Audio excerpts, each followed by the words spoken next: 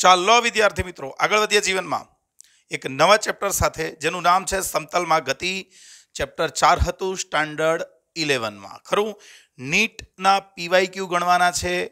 નીટમાં પૂછાયેલા, એમ્સમાં પૂછાયેલા અને એઆઈપીએમટીમાં પૂછાયેલા. બધા જ એમસીક્યુ આપણે વન બાય વન સોલ્વ કરીશું, પણ એ પહેલાં ચેપ્ટર ચાર જે સમતલમાં ગતિ છે, એનું થિયરીનું સંપૂર્ણ રિવિઝન આપણે એકવાર કરી લઈએ કોન્સેપ્ટ ક્લિયર કરી લઈએ, પછી જ એમસીક્યુ ગણવાના, બેસવાના. ડાયરેક્ટ એમસીક્યુ જોવાનો કોઈ જ મતલબ નથી. ભલે તમે ગમે તેટલા એમસીક્યુ કરશો, પણ જો કોન્સેપ્ટ ક્લિયર નહીં હોય, તો ગમે તેવો નવો એમસીક્યુ તમને નહીં આવડે નહીં આવડે ને નહીં જ આવડે. એટલે ધ્યાન રાખો, આપણે વન બાય વન એકદમ ટોપિકમાં જતા જઈએ. લગભગ દોઢ કલાકની આજુબાજુનું સેશન હશે, પણ આપણા બધા જ કોન્સેપ્ટ ક્લિયર થઈ જશે ચેપ્ટર ચારના બરોબર છે? ચાલો, વધીએ. આગળ વધીએ. શરૂઆત કરીએ ચેપ્ટર ચારના રિવિઝનની ચાલો, શરૂઆત કરી હતી ચેપ્ટર ચારનું. ક્યાંથી શરૂઆત કરી હતી આપણે ભાઈ? સદી, રાશિઓના પ્રકારોથી. તો રાશિઓના પ્રકારો કયા કયા હતા? આમ તો મૂળભૂત અને ભૌતિક સાધિત પાડ્યા હતા, પણ એ સિવાય બીજા બે પાડ્યા હતા. એક અદિશ રાશિઓ. કઈ રાશિઓ? અદિશ રાશિઓ અને બીજી સદિશ રાશિઓ. અદિશ રાશિઓ કોને કહેવાય? કે જેનું માત્ર મૂલ્ય જાણવાથી, જેનું માત્ર મૂલ્ય જાણવાથી બધી જ માહિતી મળી જાય, જેનું માત્ર મૂલ્ય જ હોય, દિશા ના હોય, એને અદિશ રાશિ કહેવાય. તો જે રાશિનું માત્ર મૂલ્ય જાણવાથી જ બધી માહિતી મળી જતી એના વિશેની તો એ કઈ રાશિ થઈ? અદિશ રાશિ થઈ. અને અદિશ રાશિ કઈ કઈ છે? તો ભાઈ દળ છે, સમય છે, તાપમાન છે, કદ છે, ઘનતા છે, ઘણું લાંબુ લિસ્ટ બની શકે તો આ બધી અદિશ રાશિઓ છે. જ્યારે સદિશ રાશિઓ કોને કહેવાય? તો ભાઈ જે રાશિઓની સંપૂર્ણ માહિતી મેળવવી હોય તો એમના મૂલ્યની તો જરૂર પડે જ, પણ જોડે જોડે શાની જરૂર પડે? દિશાની પણ જરૂર પડે, દિશાની પણ જરૂર પડે. બરાબર છે? આપણે બળ લગાડીએ છીએ કોઈ પદાર્થ પર, પણ કઈ દિશામાં બળ લગાડીએ છીએ? ઉધ્વ દિશામાં કે અધો દિશામાં? બરાબર છે? તો એ પ્રમાણે જે રાશિઓની આપણે સંપૂર્ણ માહિતી મેળવી હોય તો મૂલ્ય ઉપરાંત દિશાની પણ જરૂર હોય. તેને સદીશ રાશિઓ કહેવાય. દાખલા તરીકે ઘણી બધી છે. આપણે કાળક્રમે ભણતા જઈશું. એક તો વેગ છે, પ્રવેગ છે, બળ છે, સ્થાનાંતર છે, જે બેઝિક છે રાશિઓ કહું છું. આગળ તમે ઘણી બધી ભણી ચૂક્યા છો. ખરું કે નહીં? તો સમજો, અદિશ રાશિઓ જે છે, અદિશ રાશિઓ, ભાઈ, એ સામાન્ય સરવાળા બાદબાકીના નિયમો, સામાન્ય બીજગણિતના નિયમોને અનુસરે. બીજગણિતના નિયમોને અનુસરે. એનો મતલબ શું થાય કે માનો કે મારે કેટલી બે અધિશ રાશિઓનો સરવાળો કરવાનો છે, શરત સમાન હોવી જોઈએ. તો પાંચ કેજી દળ વત્તા દસ કેજી દળ, તો હું કહી શકું સિમ્પલ ભાષામાં પંદર કેજી અને બે વસ્તુ હોય, એક મૂલ્ય અને બીજો એકમ. અને એ આપણે દર્શાવી શકીએ. ખરું કે નહીં? તો એ સામાન્ય બીજગણિતના નિયમોને અનુસારે. બાદબાકી કરવી હોય તો કરી લઈએ કે ભાઈ કોક એક તરબૂચ છે, એમાં પાંચ કિલોનું તરબૂચ હતું, એમાં બે કિલોનો ભાગ કાપી લીધો, તો બાકી કેટલો બચ્યો? ત્રણ કેજી એટલે ડાયરેક્ટ સરવાળા બાદ બાકી ગુણાકાર, ભાગાકાર કરી શકીએ. દાખલા તરીકે મારે કદ શોધવું છે, તો કદ બરાબર દળ ભાગ્યા ઘનતા. દળ બરાબર કદ ગુણ્યા ઘનતા, એટલે કદ બરાબર દળ ભાગ્યા ઘનતા. તો આ બધી અધિશ રાશિઓ છે, સામાન્ય નિયમોને અનુસરવાય, બીજગણિતના નિયમોને અનુસરશે. પણ માની લો કે કઈ રાશિઓની વાત કરીએ, હવે સદિશ રાશિઓ. તો ભાઈ સદીશ રાશિઓ એ સામાન્ય સામાન્ય બીજગણિતના નિયમોને અનુસરે નહીં. સામાન્ય બીજગણિતના નિયમો ન અનુસરે. એટલે મારથી એવું ના કહેવાય કે એક પદાર્થ ઉપર બે બળ લાગે છે. એક પંદર ન્યૂટન અને બીજું દસ ન્યૂટન, તો પદાર્થ કઈ બાજુ જશે? કેમ? કારણ કે પંદર ન્યૂટન આમ લાગતું હોય, પાંચ, દસ ન્યૂટન આમ લાગતું હોય, તો પદાર્થ કોઈક આ દિશામાં ખસશે. હવે કેટલા બળની અસર હેઠળ ખસશે એ બધો પછીનો વિષય છે. ખરું કે નહીં? એટલે યાદ રાખો કે સીધા સરવાળા બાદબાકી સદિશ રાશિઓ માટે કરી શકાય નહીં. ભાઈ અદિશ રાશિને દર્શાવવી હોય દર્શાવવી હોય, તો માત્ર એની સંજ્ઞા મુકાય. જેમ કે દળ ભાઈ દળ બરાબર લખવું હોય તો પાંચ કેજી લખાય. પણ જ્યારે સદિશ રાશિ દર્શાવવી હોય, તો આપણને ખબર છે કે સંજ્ઞા જે છે, એ સંજ્ઞા ઉપર તીર મૂકવામાં આવે. અથવા સંજ્ઞાને ઘાટા અક્ષરે લખવામાં આવે. સંજ્ઞાને કયા અક્ષરે? ઘાટા. માટે બનો જો મારે સદિશ દર્શાવવો હોય, કયો? બનો સદિશ. તો મારથી એફ લખાય અથવા મારે ઘાટા અક્ષરે એફ લખવો જોઈએ. ખરો કે નહીં? ઓકે, પણ સદિશને તો બીજી વસ્તુ પણ હશે. શું? દિશા તો ખરી જ. મૂલ્ય. તો મૂલ્ય દર્શાવવું હોય તો માત્ર એની સંજ્ઞા લખીએ છીએ અથવા આપણે માનાંકમાં એફ લખીએ છીએ. ખરું? જે પણ રાશિ હોય એને માનાંકમાં આપણે દર્શાવીશું. ચાલો, ક્લિયર? નેક્સ્ટ હવે, શરૂઆત કરીએ સદીશો. ભાઈ, સદીશો રાશિ દર્શા સદીશ રાશિ દર્શાવી છે, તો આપણે સદીશો પહેલાં માહિતી મેળવવી પડે. તો સૌથી પહેલાં એક સદીશ કહીએ, જેનું નામ છે મુક્ત સદીશ. ભાઈ, મુક્ત સદીશ કોને કહેવાય? કે કોઈ પણ યાદચ્છિક બિંદુથી દોરાય. કોઈ પણ યાદચ્છિક બિંદુએથી. જે દોરવામાં આવે. એને માનો કે અહીંયા છે અને અહીંયાથી હું આમ બતાવી દઉં કે આ બળ. તો આ આપણો મુક્ત સદીશ થયો. કયો સદીશ થયો? મુક્ત સદીશ. જે બળનો સદીશ છે એટલે બળ વડે દર્શાવીશ. સદીશોના બીજા પણ પ્રકાર છે. એમાં પાડીએ કયો સદીશ? સમાન સદીશો. ભાઈ સમાન સદીશો કોને કહેવાય? કે જ્યારે સદીશ એ અને સદીશ બી ના મૂલ્યો કેવા હોય? સરખા હોય, દિશા પણ સરખી હોય. તો આ બંનેના મૂલ્યો અને દિશા સમાન હોય. ખરું? હવે અહીંયા જ્યારે મુક્ત સદિશ દોરો છો ત્યારે ધ્યાન રાખવું કે તમારે સ્કેલ માપ પ્રમાણે દોરવું પડે. સ્કેલ માપ. માની લો કે મારે બળ બરાબર સો ન્યૂટન દોરવું છે. હવે ન્યૂટન થોડું દોરાય. ભાઈ, દોરાય તો સેન્ટીમીટરમાં, મિલીમીટરમાં કેમ દોરાય? તો હું એક સ્કેલ લઈ લઈશ કે દસ ન્યૂટન બરાબર વન સેન્ટીમીટર. તો પછી મારે બળ દર્શાવવું હોય તો કોઈ યાદચ્છિક બિંદુ મારે લઈ લેવાનું અને ત્યાંથી બળની દિશામાં સદિશ દોરવાનો. આ એનું ટેલ કહેવાય આ એનું શું કહેવાય? ટેલ અને આ એનું હેડ કહેવાય શીર્ષ જે દિશામાં એની અસર હોય એ દિશામાં હેડ રહેવું જોઈએ અને સ્કેલ માપ પ્રમાણે સ્કેલ માપ પ્રમાણે એની લંબાઈ કેટલી દોરવી જોઈએ? ભાઈ, અહીંથી અહીં સુધીના સદીશની લંબાઈ દસ સેન્ટીમીટર હોવી જોઈએ. ખરું? તો એ દસ ન્યૂટનનો સદીશ સો ન્યૂટનનો બનો સદીશ કહેવાશે. તો એના પ્રકારોમાં આપણે કીધું કે સમાન સદીશો. ભાઈ, સમાન સદીશોમાં બંનેની લંબાઈ એટલે કે બ, સદીશોના મૂલ્યો સરખા હોય, દિશા પણ સમાન હોય. બીજા સદિશની વાત કરીએ તો કયા સદિશ છે? સમાંતર સદિશ. ભાઈ સમાંતર સદિશ કોને કહેવાય? કે જે સદિશો એક જ દિશામાં હોય. તો સર, આ બંને સરખા નહીં? ના ભાઈ. આમાં જુઓ, આમાં બંને વચ્ચેનો ખૂણો જીરો ડિગ્રી હોય અને એમના મૂલ્યો પણ સમાન હોય. જ્યારે અહીંયા બંનેના મૂલ્યો સમાન નથી. હા, પણ બંને વચ્ચેની દિશા કેવી છે? સમાન છે. ખરું? તો જો સમાંતર સદિશો હોય, તો મૂલ્યો સરખા ના હોય, તેનો મતલબ દિશા એક જ હોય, તો કોઈ એક સદિશ બીજાના કંઈક ઘણા થતો હોય, કારણ કે દિશા એકની એક છે, તો આ રીતે લખવું હોય તો સમાંતર સદિશો માટે લખી શકાય. ખરું? ઓકે, બીજા છે અસમ પ્રતિ સમાંતર સદિશો. પ્રતિ સમાંતર સદિશો કોને કહેવાય?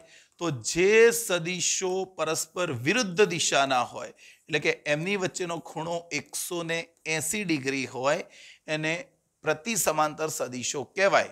ખરું? અને અસમાંતર કોને કહેવાય? ભાઈ, અસમાંતર એટલે કે જેમની વચ્ચેનો ખૂણો બિલોંગ્સ ટુ જીરોથી એટલે અહીંયા હું કરી નાખું. આ કયો અંતરાલ કહેવાય આ? કયો અંતરાલ કહેવાય? ટોસ્ટ. એટલે કે આપણે એને શું કહીએ છીએ? વિવૃત અંતરાલ. ઓકે. તો zero to one eighty degree વચ્ચેનો કોઈ બી ખૂણો હોય. બરાબર છે? પણ ઝીરો ટુ વન એટી ગણવાના નહીં, એ સિવાયનો કોઈ બી ખૂણો હોય તો એને આપણે અસમાંતર સદીશો કહેવાય. પરસ્પર લંબ સદીશો છે, એ પણ અસમાંતર જ કહેવાય. ભલે તેમની વચ્ચેનો ખૂણો નાઇન્ટી ક્લિયર થયું તો આ સદીશોના પ્રકારો ભણ્યા. નેક્સ્ટ, ચાલો, હવે મારે સદીશોની સરવાળા બાદબાકી કરવી છે. શું કરવું છે? સદીશોની સરવાળા બાદબાકીની રીતો. પણ એમાં સૌથી પહેલાં કહીએ તો એક ભૌમિતિક રીત. કઈ રીત? ભૌમિતિક રીત. ભૂમિતિથી દોરવાની આવે. જો જો આવા એમસીક્યુ તમને ટ્વિસ્ટ કરીને પૂછી શકે. તો આપણે બે સદીશોના, એમાં સૌથી પહેલી છે ત્રિકોણની રીત. કઈ રીત? ત્રિકોણની રીત. એમાં માની લો કે મારે એક સદીશ છે એ આ દિશામાં છે, જેનું મૂલ્ય કંઈક હશે. કંઈક એટલે ચાલો હું પકડીને ચાલુ છું, આ કે સો ન્યૂટન છે. કેટલું છે? બળ બળ પકડીને ચાલીએ. અહીંયા શું પકડીને ચાલીએ? બળ પકડીને ચાલીએ. તો મેં એક સદીશ દોર્યો, બળનો સદીશ એફ વન કે જેનું મૂલ્ય છે સો ન્યૂટન. બીજો સદીશ આ, બીજું બળ આ દિશામાં લાગે છે કે જેનું મૂલ્ય છે એફ અને જેનો દિશા આ છે અને મૂલ્ય છે સપોઝ એસી ન્યૂટન. અને સપોઝ બંને વચ્ચેનો ખૂણો માની લો કે કોઈ પણ થીટા છે, સિક્સટી ડિગ્રી પકડીને ચાલુ હોય તો પણ ચાલી શકીએ. તો બંને સદીશોનો સરવાળો કરીશું. માની લો કે પદાર્થ અહીં હોય ને એકલું બળ લાગતું તો કદાચ આમ જાત. આ એકલું બળ લાગતું હોત તો. એફ ટુ એકલું લાગતું તો પદાર્થ આમ જાત. પણ બંને એક સાથે લાગશે તો પદાર્થ કઈ બાજુ? કદાચ આ બાજુ જશે. પણ કઈ દિશામાં એક્ઝેક્ટ આપણને ખબર નથી. તો શું કરવાનું? તો સૌથી પહેલાં કોઈ યાદચ્છિક બિંદુ લઈ લેવાનું. ત્યાંથી પહેલો સદિશ જે હોય પહેલો સદિશ, એની દિશામાં એક સદિશ દોરવાનો ઓપી, શરત એ હોવી જોઈએ કે સ્કેલ માપ પ્રમાણે, યાદ રાખવાનું, સ્કેલ માપ પ્રમાણે ઓપી કોના બરાબર થવો જોઈએ? એફ હું અહીંયા સ્કેલ માપ લઈ લઉં, દસ સેન્ટીમીટર બરાબર સોરી દસ ન્યૂટન દસ ન્યૂટન બરાબર એક સેન્ટીમીટર. તો હું આ લાઈન દોરી દઈશ, દસ સેન્ટીમીટર લાંબી, એટલે થઈ ગયો સો ન્યૂટન. આ પહેલો સદિશ આપણો દોરાઈ ગયો. હવે બીજો સદિશ દોરવાનો હોય તો આપણે એના હેડ ઉપર પહેલા સદીશના હેડ ઉપર બીજાનું ટેલ રહેવું જોઈએ અને એ રીતે દોરવો જોઈએ. અને આની સાથે કેટલો ખૂણો બનાવે? ઠીટા તો આપણે ઠીટા એંગલે બીજો ખૂણો દોરવો, બીજો સદિશ દોરવો જોઈએ. અને ધ્યાન રાખવાનું આ ના ગણાય બંને વચ્ચેનો દિશા. બંને સદિશો વચ્ચેનો ખૂણો આ ના ગણાય. એની દિશા કઈ છે? આ. એની સાથે આ. તમારો ઠીટા કોણ રચવો જોઈએ? અને આ સદીશ પીક્યુ દોર્યો. ભાઈ પીક્યુ પણ સ્કેલમાં પ્રમાણે એવો દોરવાનો કે જે કોના બરાબર હોય? એફ બરાબર હોય. એફ બરાબર હોય. અને સ્કેલમાં પ્રમાણે લઈશું તો એની લંબાઈ આ એસી સેન્ટ, એસી ન્યૂટન છે. એટલે આઠ સેન્ટીમીટર થશે. ખરું? એટલે એને આપણે એસી ન્યૂટન લખી શકીશું. હવે બંને દોરાઈ જાય. એટલે પહેલાંનું ટેલ અને છેલ્લાનું હેડ. આ બંનેને જોડી દો. એટલે તમને બંનેનો પરિણામી બળ મળ્યું એફઆર એર ફોર રિઝલ્ટન્ટ કોનો કોનો સરવાળો બનાવે? F one plus F two તો તમને પરિણામી સદીશનું મૂલ્ય ક્યાંથી મળશે? ભાઈ મૂલ્ય બરાબર એફ એફઆર સદીશ જે બન્યો, એની લંબાઈ. ભાઈ લંબાઈ તમે માપશો તો લંબાઈ સમ આપશે તો સપોઝ માની લો કે આ તેર સેન્ટીમીટર લંબાઈ આવી. આપણે એવું માની લઈએ કે તેર સેન્ટીમીટર લંબાઈ છે. તો તેર અને સ્કેલમાં લીધે તો દસ ન્યૂટન એક સેન્ટીમીટર. તો ટોટલ તમારું બળ આવી ગયું એકસો ત્રીસ ન્યૂટન. શું આવી ગયું? એકસો ત્રીસ ન્યૂટન જે બળ આ દિશામાં લાગશે. અને દિશા કઈ? તો ભાઈ આ ખૂણો માપી લો આલ્ફા. તો આની જોડે આલ્ફા ખૂણો માપી લો. તો સપોઝ એક ઉદાહરણ તરીકે લઉં છું કે આ પાંત્રીસ ડિગ્રી આવ્યો. તો એનો મતલબ એવો થઈ ગયો કે જ્યારે એફ વન બળ સો ન્યૂટન આમ લાગતું હતું, એસી ન્યૂટન આમ લાગતું હતું, એકબીજા સાથે કોઈક થીટા એંગલે લાગતું હતું. અને એ વખતે કણ કઈ બાજુ ખસશે? બળની પરિણામી અસર કઈ બાજુ હશે? તો આપણે બે સદીશ દોર્યા. પહેલો સદિશ દોર્યો, એના હેડ ઉપર બીજાનું ટેલ રહે, તે બીજો સદિશ દોર્યો, અને પછી પહેલાના ટેલ છેલ્લાના હેડને જોડી દીધો, તો આપણને લંબાઈ પરથી મૂલ્ય મળી જશે, અને પહેલા સદિશ કે બીજા સદિશ સાથેનો ખૂણો એ એની આપણને દિશા પણ આપી દેશે. ક્લિયર થઈ ગયું દરેક જણને? હા કે ના? બરાબર છે, તો ત્રિકોણની રીત હતી. આમાં પણ કેટલાક એમસીક્યુ ટ્વિસ્ટ કરીને પૂછી શકે. હવે, બે સદિશોનું મહત્તમ મૂલ્ય, ભાઈ બે સદિશોનો સરવાળો થાય તો એનું મહત્તમ મૂલ્ય કેટલું હોય? ભાઈ, બે સદીશો. કયા કયા સદીશો? ચાલો નામ આપી દઉં. એક સદીશ એ છે ને બીજો બી સદીશ છે. ભાઈ, મહત્તમ મૂલ્ય કેવી રીતે થાય? તો એક સદીશ મેં આમ દોર્યો, બીજો સદીશ એના હેડ ઉપરથી દોરું, પણ એની દિશાનું દોરું. તો આ પરિણામી સદીશ જે મળશે, આર, એની લંબાઈ સૌથી વધારે હશે. તો તમને મહત્તમ મૂલ્ય મળી જશે આર બરાબર એ પ્લસ બી. આ તમને મેક્સિમમ મૂલ્ય મળે, મેક્સિમમ. અને લઘુત્તમ મૂલ્ય કેટલું હશે? તો ભાઈ, લઘુત્તમ મૂલ્ય ઉપર પણ વિચાર કરી લઈએ. લઘુત્તમ કે એકને આપણે આમ દોર્યો, આ એ સદીશ કહું અને બીજાના એના હેડ ઉપરથી ઊંધો દોર્યો, તો આપણો પરિણામી સદીશ આટલો જ થયો. આ તમારો બી સદીશ, અહીંથી અહીં. આ એ સદીશ, ત્યાંથી બી આમ, તો આ થયો. તો લઘુત્તમ મૂલ્ય થઈ ગયું આર મિનિમમ બરાબર એ માઇનસ બી. એટલે યાદ રાખો કે બે બળો, બે સદીશો તમને આપ્યા હોય તો એનું મહત્તમ મૂલ્ય કેટલું? તો બંનેનો સરવાળો. એટલે હું એમ કહું કે સો ન્યૂટન ને એસી ન્યૂટન બે બળો આપ્યા છે, તમારે જુદા જુદા કોણે બળો લગાડવાના? તો મહત્તમ મૂલ્ય કેટલું મેળવી શકાય? એકસો એસી. ઓછામાં ઓછું મૂલ્ય કેટલું મળી શકાય? બાદ બાકી એટલે વીસ ન્યૂટન. બાકીના બધા કોણો રાખીશું. બાકીના કોણો રાખીશું તો બ તમને વીસ ન્યૂટનથી એકસો એસી ન્યૂટનની વચ્ચે જ મળશે. ખરું? એટલે ઘણીવાર આવા ક્વેશ્ચન પૂછાય કે તમને ત્રિપુટી આપેલી હોય નીચે. કે ચાલો, શું આ ત્રણ બળો છે? એક બળ, બીજું બળ આ બળ. શું આ બળોના કારણે પદાર્થ સંતુલનમાં હોય? ખ્યાલ આવે છે? તો આપણે ચેક કરવું પડે કે ત્રિકોણ બનાવે છે કે નહીં. સમજીએ, એનું ઉદાહરણ પણ હમણાં ક્લિયર કરી લઈએ. બરાબર ને? ચાલો. અહીંયા સમજીએ હવે. ભાઈ, આ તો વાત થઈ બે બળોની. આ તો વાત થઈ બે બળોની. પણ ઘણા બધા બળો હોય તો શું કરવાનું? બે કરતા વધુ બળો. તો માની લો કે એક બળ આમ લાગ્યું, બીજું આમ લાગ્યું, ત્રીજું આમ લાગ્યું, ચોથું આમ લાગ્યું, આ એ સદીશ છે, આ બી સદીશ છે, આ સી સદીશ છે, આ ડી સદીશ છે. સદીશો જુદા જુદા કોણે છે? અને મારે પરિણામી સરવાળો કરવાનો છે. તો મેથડ આ જ વાપરવાની ફિકર નોટ. સૌથી પહેલાં પસંદ કરવાનું. ઓ બિંદુ, ત્યાંથી પહેલો સદીશ દોર દેવાનો. એ સ્કેલમાં પ્રમાણે એના હેડ ઉપરથી બીજાનો ટેલ આ રીતે દોરવાનો. આ તમને બી મળી ગયો, એના ઉપરથી આ સી દોરવાનો. ખરું કે નહીં? સ્કેલ માપ લઈને અને આ દોરવાનો ડી એટલે તમારો ફાઇનલ અહીં આવ્યો. જેટલા હોય બધા સદીશો દોરી કાઢવાના. ઉધો સિગ્મા પડી ગયો. અને હવે બધા દોરાઈ જાય એટલે પહેલાંનું ટેલ અને છેલ્લાનું હેડ આ બંનેને જોડો એટલે તમને પરિણામી સદીશ મળી જાય. આર બરાબર A plus B plus C plus D આ તમને પરિણામી સદીશ મળી જાય. ખ્યાલ આવ્યો કે ના આવ્યો? હવે માની લો કે, માની લો કે હું સદીશો આપેલા છે. એક સદીશ છે. એ જેનું મૂલ્ય આમ છે, બીજો સદીશ છે બી આમ છે, ત્રીજો સદીશ સી આમ છે, ચોથો સદીશ ડી આમ છે. માની લો કે આ સદીશો આપેલા છે અને કોઈ પણ રીતે, અને એક સદીશ કદાચ ઈ આમ છે. તો તમે શું કરશો? વારાફરતી સદીશો વન બાય વન મૂકતા જાઓ. ચાલો, મેં મૂકી દીધો એક સદીશ એ બીજો સદીશ બી ત્રીજો સદીશ સી ચોથો સદીશ ડી અને પાંચમો સદીશ ઈ અને આકૃતિ બંધ થઈ ગઈ. આકૃતિ કેવી થઈ ગઈ? બંધ થઈ ગઈ.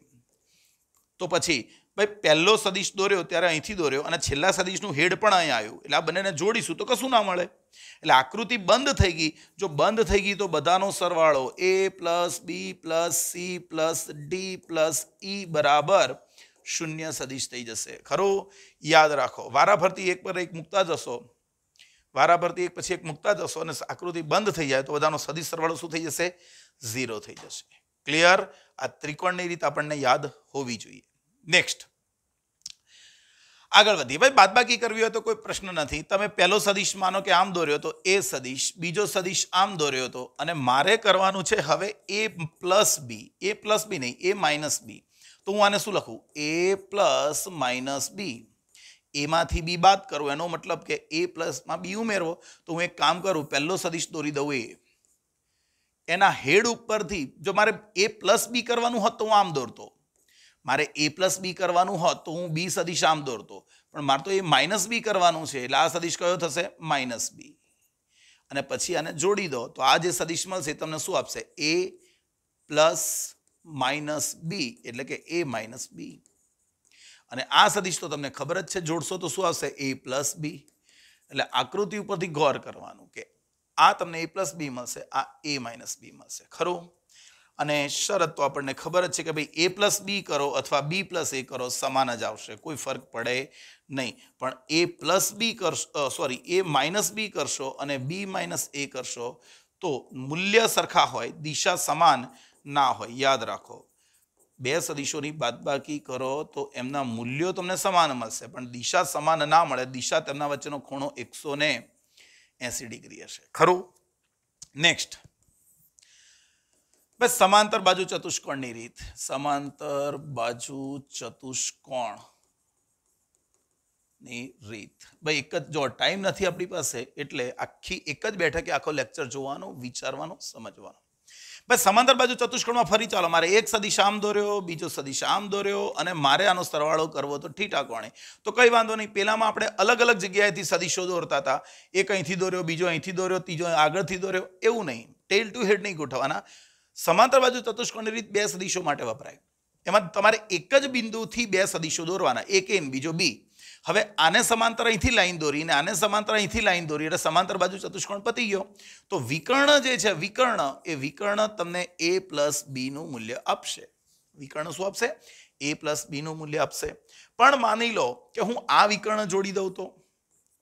આ વિકર્ણ જોડી દઉં તો શું આપે? ભાઈ, આ વિકર્ણ જોડી દો તો યાદ રાખો.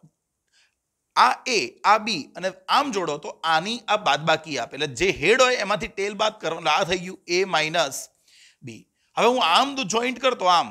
અહીં તીર મારતો, અહીં જેવું તીર માર્યું જગ્યાએ હું ઊંધું તીર મારતો, શું શું આવતું? B minus A. આ સમાંતર બાજુ ચતુષ્કોણની રીત છે. એ પણ ત્રિકોણ જેવી જ છે. ભાઈ, આ એ, આ બી, તો આ બી થવાનો છે. એટલે આ એ પ્લસ બી થવાનો છે. ખરું કે નહીં? ચાલો, આગળ વધીએ. હવે, એ સમજીશું કે શૂન્ય સદીશ કોને કહેવાય? કયો સદીશ? શૂન્ય સદીશ. ભાઈ, કોઈ પણ સદીશમાં એના જેટલા જ મૂલ્યનો સદિશ ઉમેરવામાં આવે તો શૂન્ય સદિશ મળે. અને શૂન્ય સદિશ is not zero it is zero zero zero એટલે ખાલી ઝીરો લખાય નહીં. એટલે કોઈ પણ સદિશમાં એના મૂલ્યની વિરુદ્ધ દિશાનો સદિશ ઉમેરી શકીએ. ચાલો બીજું. એકમ સદિશ એકમ સદિશ. અને અક્ષો પરના એકમ સદિશ. એકમ સદિશ અને અક્ષો પરના એકમ સદિશ કોને કહેવાય? ચાલો વિચારીએ. ભાઈ, કોઈ પણ એકમ સદિશો જેનું મૂલ્ય એકમ સદિશ કોને કહેવાય કે જેનું મૂલ્ય એક હોય? અને દિશા હોય પણ, એને દિશા હોય, એને એકમ સદિશ કહેવાય સાદી ભાષામાં. ખરું કે નહીં? તો અહીંયા કોઈ પણ સદિશ લખું એ, ભાઈ, એનો એકમ સદિશ જો મારે દર્શાવવો હોય એનો એકમ સદિશ, તો મારે યુનિટ વેક્ટર અને ઇંગ્લિશમાં કહેવાય યુનિટ વેક્ટર, તો યુ લખીશું. કોનો યુનિટ વેક્ટર? એનો યુનિટ વેક્ટર. અને ઉપર કેપ પહેરાવાની, એટલે અને યુ કેપ કહેવાય, યુ હેટ કહેવાય, અથવા યુ કેરેટ તરીકે પણ બોલી શકીએ.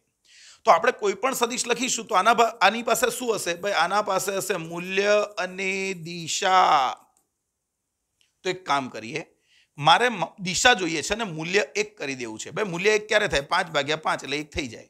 તો કોઈ પણને એના એટલા જ વડે ભાગી નાખીએ તો થઈ જાય. તો કોઈ પણ સદિશને, કોઈ પણ સદિશને એના જ મૂલ્ય વડે ભાગી નાખવાનું. તો સિમ્પલ વસ્તુ, ભાઈ, આની પાસે શું છે? આની પાસે મૂલ્ય અને દિશા છે. આની પાસે શું છે? મૂલ્ય જ છે. મૂલ્ય મૂલ્ય ગયું એટલે એક. તો મૂલ્ય એક થઈ ગયું ને તમને દિશા મળી જશે. ખરું? એટલે કોઈ પણ સદિશને એના જ મૂલ્ય વડે ભાગી નાખો તો તમને શું મળી જશે? એની દિશામાંનો એકમ સદિશ, કે જેનું મૂલ્ય એક હશે, પણ જે સદિશ હશે એની દિશા દર્શાવતો હશે. ક્લિયર થઈ ગયું દરેકને? પાકો? તો તમારે સમજવું હોય તો એક ઉદાહરણ આપણે ધારી લઈએ કે ચાલો, એક સદિશ છે એ, જેનું મૂલ્ય છે ટુ થ્રી માઇનસ સિક્સ. બરાબર? આનો એકમ સદિશ ગણવું હોય તો શું ગણીએ? એકમ સદિશ, એટલે સદિશ ભાગ્યા તેનું મૂલ્ય. તો two three minus six upon આનું મૂલ્ય ગણશો તો સેવન આવશે. એટલે two by seven three by seven મૂલ્ય શોધતા પણ આપણે શીખેલા જ છીએ. ખરું? આ એકમ સદિશ થઈ ગયો. હવે અક્ષો પરના એકમ સદીશની વાત કરું તો શું થાય? ભાઈ, અક્ષો પર આપણે જાણીએ છીએ એક્સ અક્ષ, આ વાય અક્ષ અને આ ઝેડ અક્ષ. આ તમારું ઉગમ બિંદુ. અને હવે અહીંયાથી, ભાઈ, અહીંયાથી પહેલો સદિશ આ એક્સ દિશાનો એક્સ દિશાના એકમ સદિશને આઈ વડે દર્શાવીશું.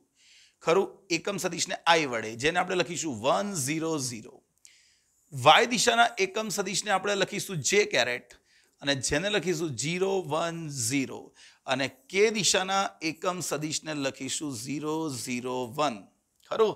તો આ આપણા અક્ષો પરના એકમ સદિશ થયા. તો હવે કોઈ પણ સદિશની સદિશની સદિશની કાર્તેજિયન યામાક્ષ પદ્ધતિમાં રજૂઆત. સદિશની કાર્તેજિયન યામાક્ષ પદ્ધતિમાં રજૂઆત.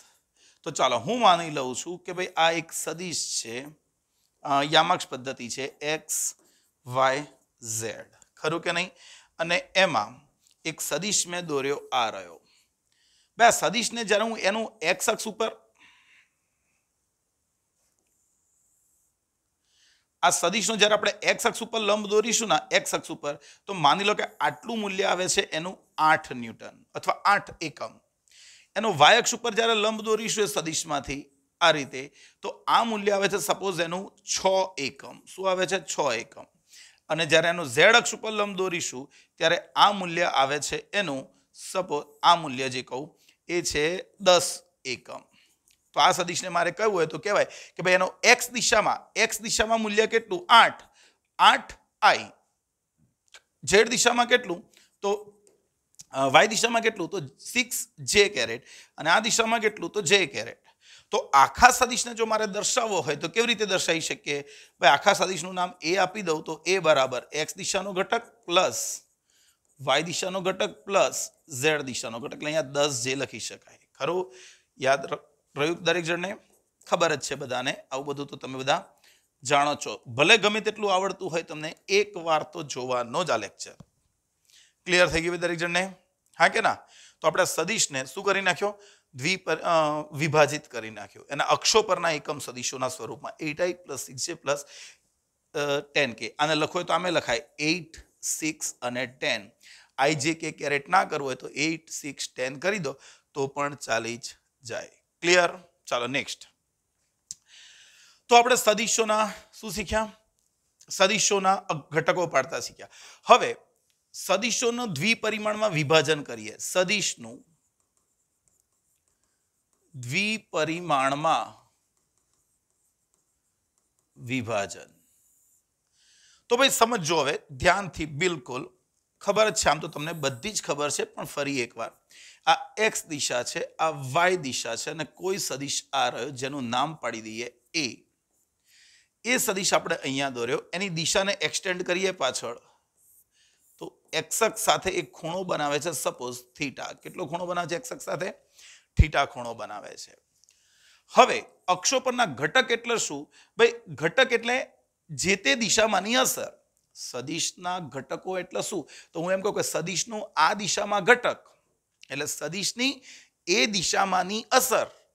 તો અત્યારે આપણા જે સદિશ એ છે, માનો કે બળ છે, તો સો ન્યૂટન લાગે છે, તો કઈ બાજુ લાગે છે? આ દિશામાં લાગે છે. પણ એક્સ દિશામાં કેટલું લગાડશે? તો એક કામ કરવાનું, એક્સ દિશામાં સદિશના બંને અંત્ય બિંદુઓમાંથી એક્સ અક્ષ ઉપર એક લંબ દોરી દીધો. તો આટલું જે અંતર થયું, આ, એ એની એક્સ દિશાની અસરકારકતા એટલે એક્સ ઘટક, જેને આપણે હમણાં બતાવ્યું, એ પ્રમાણે એ એક્સ આઈ કેરેટ કહેવાય. અને એ જ રીતે વાય દિશાનો જો મારે ઘટક પાડવો હોય, તો આ સદિશનો આ દિશાનો ઘટક, જેને કહી દઉં એ વાય જે કેરેટ. ખ્યાલ આવે છે? તો જો આ એ એક્સ આઈ કેરેટ થાય, તો આ પણ એ એક્સ આઈ જ કેરેટ થશે, આટલેથી આટલું એ એક્સ આઈ કેરેટ. અને અહીંથી આટલું ગણીશું, તો આનું એ વાય જે કેરેટ થશે.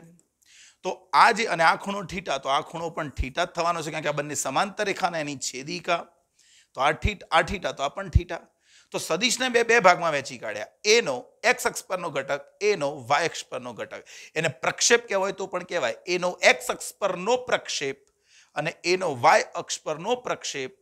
બરોબર છે? તો ઘટક પણ કહેવાય, પ્રક્ષેપ પણ કહેવાય, એટલે શું? એ દિશાની અસરકારકતા. ઓકે, તો આના ઘટકો પરથી આપણે જો સમજવાનો ટ્રાય કરીએ તો સદિશના બે ભાગ પાડી નાખ્યા. એ એક્સ અને એ વાય તો હવે ધ્યાન રાખજો, કયો ઘટક છે એ આપણે થોડુંક ચેક કરીએ. ખૂણાના સ્વરૂપમાં પછી કરીએ, પણ પહેલા સદીશના સ્વરૂપમાં લખીએ. આ જે સદીશ છે, એના હેડ ઉપર આ સદીશનું ટેલ છે. એનો મતલબ કે એક્સ આઈ કેરેટના હેડ ઉપર હેડ ઉપર એવાય જે કેરેટનું ટેલ છે, તો બંનેનો સરવાળો કરીએ, તો આના ટેલ, આના હેડ જોડે આપણને એ મળી ગયો, એટલે આપણે હમણાં લખ્યું હતું એ જ આને ઉભર્યું ખરું કે નહીં? તો આને લખવું હોય તો એક બીજી નિંજા ટેકનિક છે એ એક્સ એ વાય અને એનું મૂલ્ય જોઈતું હોય તો કેવી રીતે શોધીશું? ભાઈ, મૂલ્ય એટલે મેં તમને કીધું કે સદિશનું મૂલ્ય કેવી રીતે શોધાય? તો એના સદિશની લંબાઈ. તો આ લંબાઈ ગણવી પડે તો એ લંબાઈનું મૂલ્ય એ તમને સદિશનું મૂલ્ય આપશે. તો આ તો પાયથાગોરસનો પ્રમેય વાપરી શક્યા, નાઇન્ટી ડિગ્રી. તો વર્ગમૂળમાં આટલી લંબાઈ એટલે કોણ? એક્સ નો સ્ક્વેર પ્લસ આટલી લંબાઈ એ વાયનો સ્ક્વેર. તો સદિશનું મૂલ્ય શોધવાની ટેકનિક આ રહી. સદીશ પરથી આપણને મૂલ્ય મળી જશે. ખરું?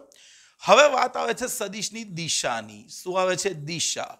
ભાઈ, દિશા માટે ઊભા રહો. તો સદિશના અક્ષો પર ઘટક પાતી દઈએ. તો આ સૂત્રમાં સાઈન થીટા બરાબર યુઝ કરો તો પહેલા. ભાઈ, સાઈન થીટા બરાબર સામેની બાજુ ભાગ્યા કર્ણ અને કર્ણ કોણ છે તમારો? ભાઈ કર્ણ એટલે એનું મૂલ્ય. એને મોડ એ પણ લખાય અથવા તો એને માત્ર એ લખીશું. તો આપણો વાય ઘટક થઈ ગયો એ વાય બરાબર એ સાઈન થીટા અને હું આ રીતે લખો તો પણ લખી શકું. A cos ninety minus theta કેમ? એ સમજાવું પછી. અને આ ઘટક કેવો હોય? આ ઘટક. તો હું કોસ થીટા લઈ લઉં. તો ભાઈ કોસ થીટા બરાબર પાસેની બાજુ એટલે એક્સ અપોન ઘટક એ એટલે A X upon mod A લખવું હોય તો લખી શકાય. તો આના ઉપરથી એ એક્સ શું થઈ જશે? એ કોઝ થીટા જો અક્ષો પરના બે ઘટક પડી ગયા. એક એક્સ પરનો એ કોસ થીટા અને એ સાઇન થીટા. યાદ રાખો, કોઈ પણ સદિશની અસરકારકતા કોઈ દિશાની ગણવી હોય, કોઈ પણ સદિશની જે દિશાની અસરકારકતા ગણવી હોય, તો એ અસરકારકતા એટલે શું? સદિશનું મૂલ્ય અને સદિશે તે દિશા સાથે જે ખૂણો બનાવ્યો હોય, એની સાથે એનો કોસ થીટા, કોસ થીટાનો ગુણાકાર, એ કોસ થીટા. હવે કોઈ કે, સર, અહીં તો સાઈન, તો સમજો મારે આ સદિશનો આ દિશાની અસરકારકતા શોધવી હતી, આ દિશાની, તો એની સાથે બનાવેલા ખૂણાની કોસ થીટાનો ગુણાકાર. પણ મારે વાય દિશાનો ઘટક જોઈતો હોય, તો આણે અહીં એક્સ અહીં થીટા બનાવ્યો હોય, તો અહીં કેટલો બનાવ્યો હશે? નાઇન્ટી માઇનસ થીટા તો સદિશનો એક્સ દિશાનો ઘટક કેવો હોય? તો એ કોસ થીટા અને આ દિશાનો ઘટક કેવો હોય? તો એ કોઝ પણ ખૂણો આ દિશા સાથે નાઇન્ટી માઇનસ થીટા બને છે. Ninety minus theta. એટલે આ થઈ જશે સાઇન થીટા. ખરું? તો કોઈ પણ સદિશ. આ સદિશ છે. એનો મારે આ દિશાનો ઘટક જોઈએ છે. અને એની સાથે આલ્ફા ખૂણો બનાવ્યો હોય, તો અહીંયાથી લંબ દોરીએ, તો એનો આ દિશાનો ઘટક થશે એ કોઝ આલ્ફા. કોઈ આ દિશાનો દોર્યો હોય, તો અહીંયાથી લંબ દોરવાનો, તો આ ખૂણો જો બીટા હોય, તો આ ઘટક થઈ જશે A cos beta. Cos beta beta beta. ચાલો ક્લિયર તો આપણને સદિશના બે ઘટક મળી ગયા. તો સદિશને અમારે લખવો હોય તો આવું પણ લખાય કે ભાઈ સદિશ એક્સ ઘટક એ એક્સ આઈ કેરેટ પણ એ એક્સ એટલે કોણ? A cos theta A cos theta I અને વાય ઘટક લેવો હોય તો કોણ? એ સાઇન થીટા તો આપણને સદિશના બે ઘટકો મળી ગયા. A cos theta A sine theta યાદ રાખે દરેક જણ.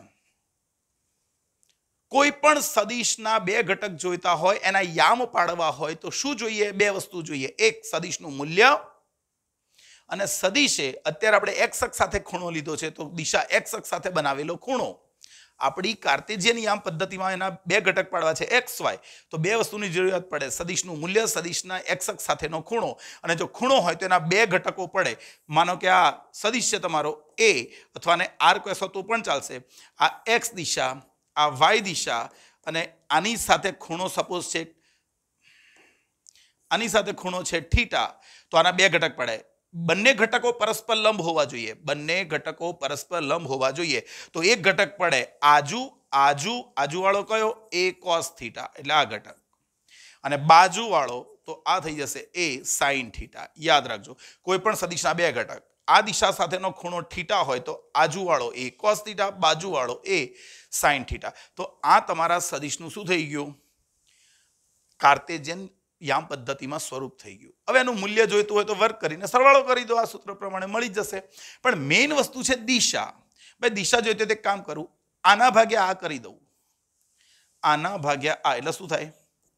A Y upon A X બરાબર એ એ ગયા sine upon cos tan theta તો થીટા બરાબર તમને મળી જશે ટેન ઇનવર્સ બોલવાનું વાયામ છેદમાં એક્સ યામ. એટલે જે નીચે હશે, એની સાથે બનાવેલો ખૂણો મળી જશે. એટલે એક્સ અક્ષ સાથેનો ખૂણો.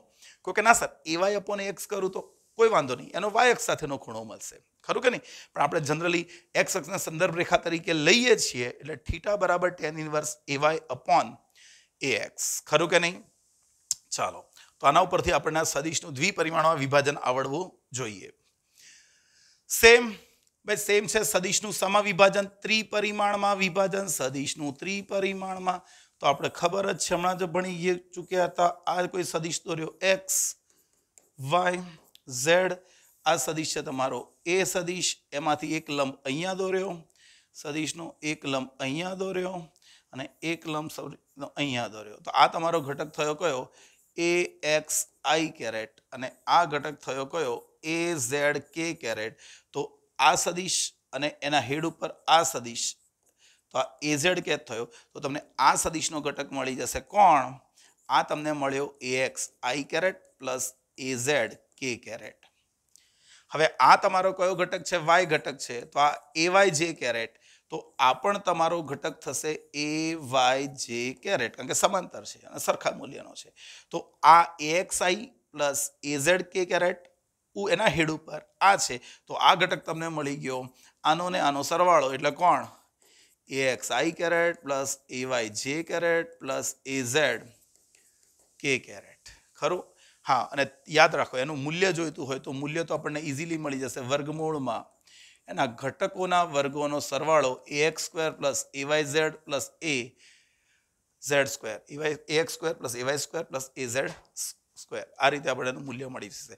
અને ત્રિપરિમાણમાં દિશા નથી મેળવવાની. બે ત્રિપરિમાણમાં દિશા નથી મેળવવાની. એને સમતલો સાથેના ખૂણાથી મેળવવાની હોય, પણ એટલું બધું ડિટેલમાં આપણે છે નહીં. ચાલો ક્લિયર આટલું તો તમને એક્ઝેક્ટ ખબર પડવી જોઈએ કે સદીશોના સરવાળા બાદ બાકી કેવી રીતે થાય? બરાબર? તો હવે કાર્તેજિયન યામ પદ્ધતિ પ્રમાણે, ચાલો બૈઝિક સરવાળો કરી નાખીએ તો શું થાય? બૈઝિક સરવાળો કરવાનો હોય તો માની લો કે એક સદીશ છે ટુ થ્રી માઇનસ ફોર અને બીજો સદીશ છે ફાઇવ ફાઇવ વન ટુ ચાલો ફાઇવ માઇનસ વન ટુ છે એવું પકડીને ચાલીએ. તો તમારે આવું કરવું છે. સૌથી પહેલાં એ પ્લસ બી શોધવાનો છે. એ માઇનસ બી શોધવાનો છે. એમના મૂલ્યો શોધવાના છે એવું પકડીને ચાલો બરાબર છે? યુનો દિશાનો એકમ સદી શોધવાનો છે અથવા આવું કરવાનું છે કે three A plus two B કરવાનું છે, તો કેવી રીતે મળે? સિમ્પલ છે, આવડે. ચાલો પહેલાં એ પ્લસ બી કરવું હોય તો ડાયરેક્ટ જ મૂકી દઈશું, એ પ્લસ બી. બરાબર, two three minus four plus five minus one, two. X X એમનો સરવાળો, સાત. બે માઇનસ બે. મળી જાય અને એનું મોડ શોધવું હોય તો એ પ્લસ બીનું મોડ બરાબર વર્ગમૂળમાં ઓગણપચાસ વત્તા ચાર વત્તા ચાર એટલે રૂટ સત્તાવન. કોઈ કે ના સર, એ જ રીતે મારે એ માઇનસ બી ગણવો હોય તો. એ માઇનસ બી ગણવો હોય તો શું થશે? Two three minus four minus five minus one minus two અરે ટુ છે ટુ છે ટુ છે. ઓકે તો ટુ માઇનસ ફાઇવ એટલે માઇનસ થ્રી આ થ્રી માઇનસ માઇનસ વન એટલે ફોર થઈ જશે. અને આમ માઇનસ સિક્સ થઈ જશે. અને જે રીતે તમે પેલું ગણ્યું, એ રીતે આનું મૂલ્ય પણ ગણી જ નાખવાનું. નવ વત્તા સોળ વત્તા છત્રીસ એટલે પચીસ ને છત્રીસ રૂટ એકસઠ. શું હશે રૂટ એકસઠ? ક્લિયર દરેક જણને? ચાલો, આગળ આ બી શોધવું હોય તો બી મળી જશે three A plus two B તો ભાઈ, આને ગણવું હોય તો શું ગણી નાખવું? Three into three A plus two B કરવું છે આપણે. તો શું કરી નાખીશું? થ્રી ઇન્ટુ એ એટલે two three minus four plus two into B એટલે ફાઇવ માઇનસ વન ટુ અંદર ગુણી દઉં તો six plus nine minus twelve plus ten minus two plus four એટલે આ થઈ ગયું તમારું સિક્સટીન સેવન માઇનસ એઇટ અને મૂલ્ય જોઈતું હોય તો પછી એનું પણ મૂલ્ય તમે મોડથી શોધી શકો. આ સરવાળાની રીત. બરાબર છે? ચાલો નેક્સ્ટ સદીશોનો અદિશ ગુણાકાર. સદીશોનો અદિશ ગુણાકાર. બે સદીશોનો ગુણાકાર એવી રીતે કરવાનો કે પરિણામ પરિણામ અણામ પરિણામ અદિશ મળવું જોઈએ. પરિણામ અદિશ હોવું જોઈએ. એનો મતલબ તમને સમજાવું કે સદીશું અદિશું એ સમજો પહેલાં. કે ભાઈ આપણે યામાક્ષ પદ્ધતિમાં લખું, હું એનું મૂલ્ય લખું છું પાંચ, ત્રણ બે, એટલે કે આવું લખાય five I caret plus three J caret plus two K caret તો આ જે કહેવાય એને સદિશ કહેવાય, કે જેમાં દિશાઓ ઇન્વોલ્વડ હોય. પણ હું એના મૂલ્ય તરીકે કોઈક રાશિ લખું કે ચાલો, કોઈ રાશિ છે એ બરાબર સત્તાવન એકમ. તો આમાં માત્ર મૂલ્ય જ હોય, ખાલી એક એક મૂલ્ય જ છે આ. એને દિશા સંકળાયેલી નથી. તો સદિશ સ્વરૂપ આ પ્રકારે આવશે અને અદિશ સ્વરૂપ આ પ્રકારે આવશે. એટલે મારે અહીંયા શું કરવાનું છે? ભાઈ, મારે અહીંયા બે સદિશોનો ગુણાકાર એવી રીતે કરવાનો છે કે જેથી મળતું પરિણામ કેવું હોય? સદિશ હોય. તો ડાયરેક્ટ જ આગળ વધીએ. બે સદિશોનો અદિશ તરીકે ગુણાકાર ક્યારે કરી શકાય કે જો બંને એક જ દિશામાં હોય? અને એક જ દિશામાં ના હોય તો શું કરવાનું? આ એ સદિશ, આ બી સદિશ બંને અલગ અલગ દિશામાં છે, બંને વચ્ચેનો ખૂણો થીટા છે. અને મારે બંનેનો ગુણાકાર કરવાનો છે. તો હું શું કરીશ અહીંયા? હું શું કરીશ અહીંયા? તો હું અહીંયા બંને અલગ અલગ દિશામાં છે. એક જ દિશામાં દસ દસ ન્યૂટનના દસ ફોર્સ એક જ દિશામાં લાગતા હોય તો આપણે કેવું કહી દઈશું? સો ન્યૂટન બળ લાગે છે. ખરું? એક જ દિશામાં હોય તો તમને અધિશની રીતે સરવાળો કરી શકાય. ગુણાકાર કરી શકાય. તો આનું એક કામ કરીએ. આનો આ ઘટક છે તો અહીંયા લંબ દોરી દઉં. આ એ આ બી પણ આનો આ દિશાનો ઘટક શું થશે? એ કોસ થીટા આનો આ દિશાનો ઘટક. અને બીનો જો આ દિશાનો ઘટક કેવો હોય, તો આ બી તો આ થયો બી કોસ થીટા તો એ અને બી ભલે એક દિશામાં નથી, પણ મારથી એવું બોલાય કે સદિશ એ આખો અને બીનો બી કોસ ઘટક એક દિશામાં છે. અથવા બી સદિશ આખો અને એનો બીની દિશાનો ઘટક એ કોસ બંને એક દિશામાં છે. માટે બંનેનો ડોટ ગુણાકાર. ભાઈ, અદિશ ગુણાકારને કયો ગુણાકાર કહેવાય? ડોટ ગુણાકાર. કારણ કે એને આપણે ડોટ વડે દર્શાવવાના છીએ. તો એ ડોટ બી બરાબર શું કરી શકાય? એક સદિશનું મૂલ્ય અને બીજો સદિશ કોણ? કોસ થીટા અથવા કોઈ કે ના sir B into A cos theta હવે બંને સાચા છે. તો આપણા પરિણામી સદિશનું મૂલ્ય થઈ ગયું એ ડોટ બી બરાબર mod A mod B cos theta યાદ રાખજો. જ્યાં બંનેનો ડોટ ગુણાકાર. અને કોસ થીટા જોઈતો હોય ભાઈ કોસ થીટા જોઈતો હોય તો બેનો ડોટ ગુણાકાર છેદમાં બેનું ડોટ ગુણાકાર છેદમાં બેનું મૂલ્ય. ખરું કે નહીં? આ આપણને અદિશ ગુણાકાર મળ્યો બે સદિશનો. રાઈટ ચાલો આગળ. હવે વાત આગળ કરીએ કે ભાઈ સદિશનો દોઢ ગુણાકાર તો કરે પણ આ તો એક સૈદ્ધાંતિક રીત થઈ. આપણને કાર્તિજ્ય બીજગણિતની રીતે કેવી રીતે ખબર પડે કે ગુણાકાર કરવો છે? તો માની લો કે આપણો એક સદિશ છે, એ બરાબર કોણ છે?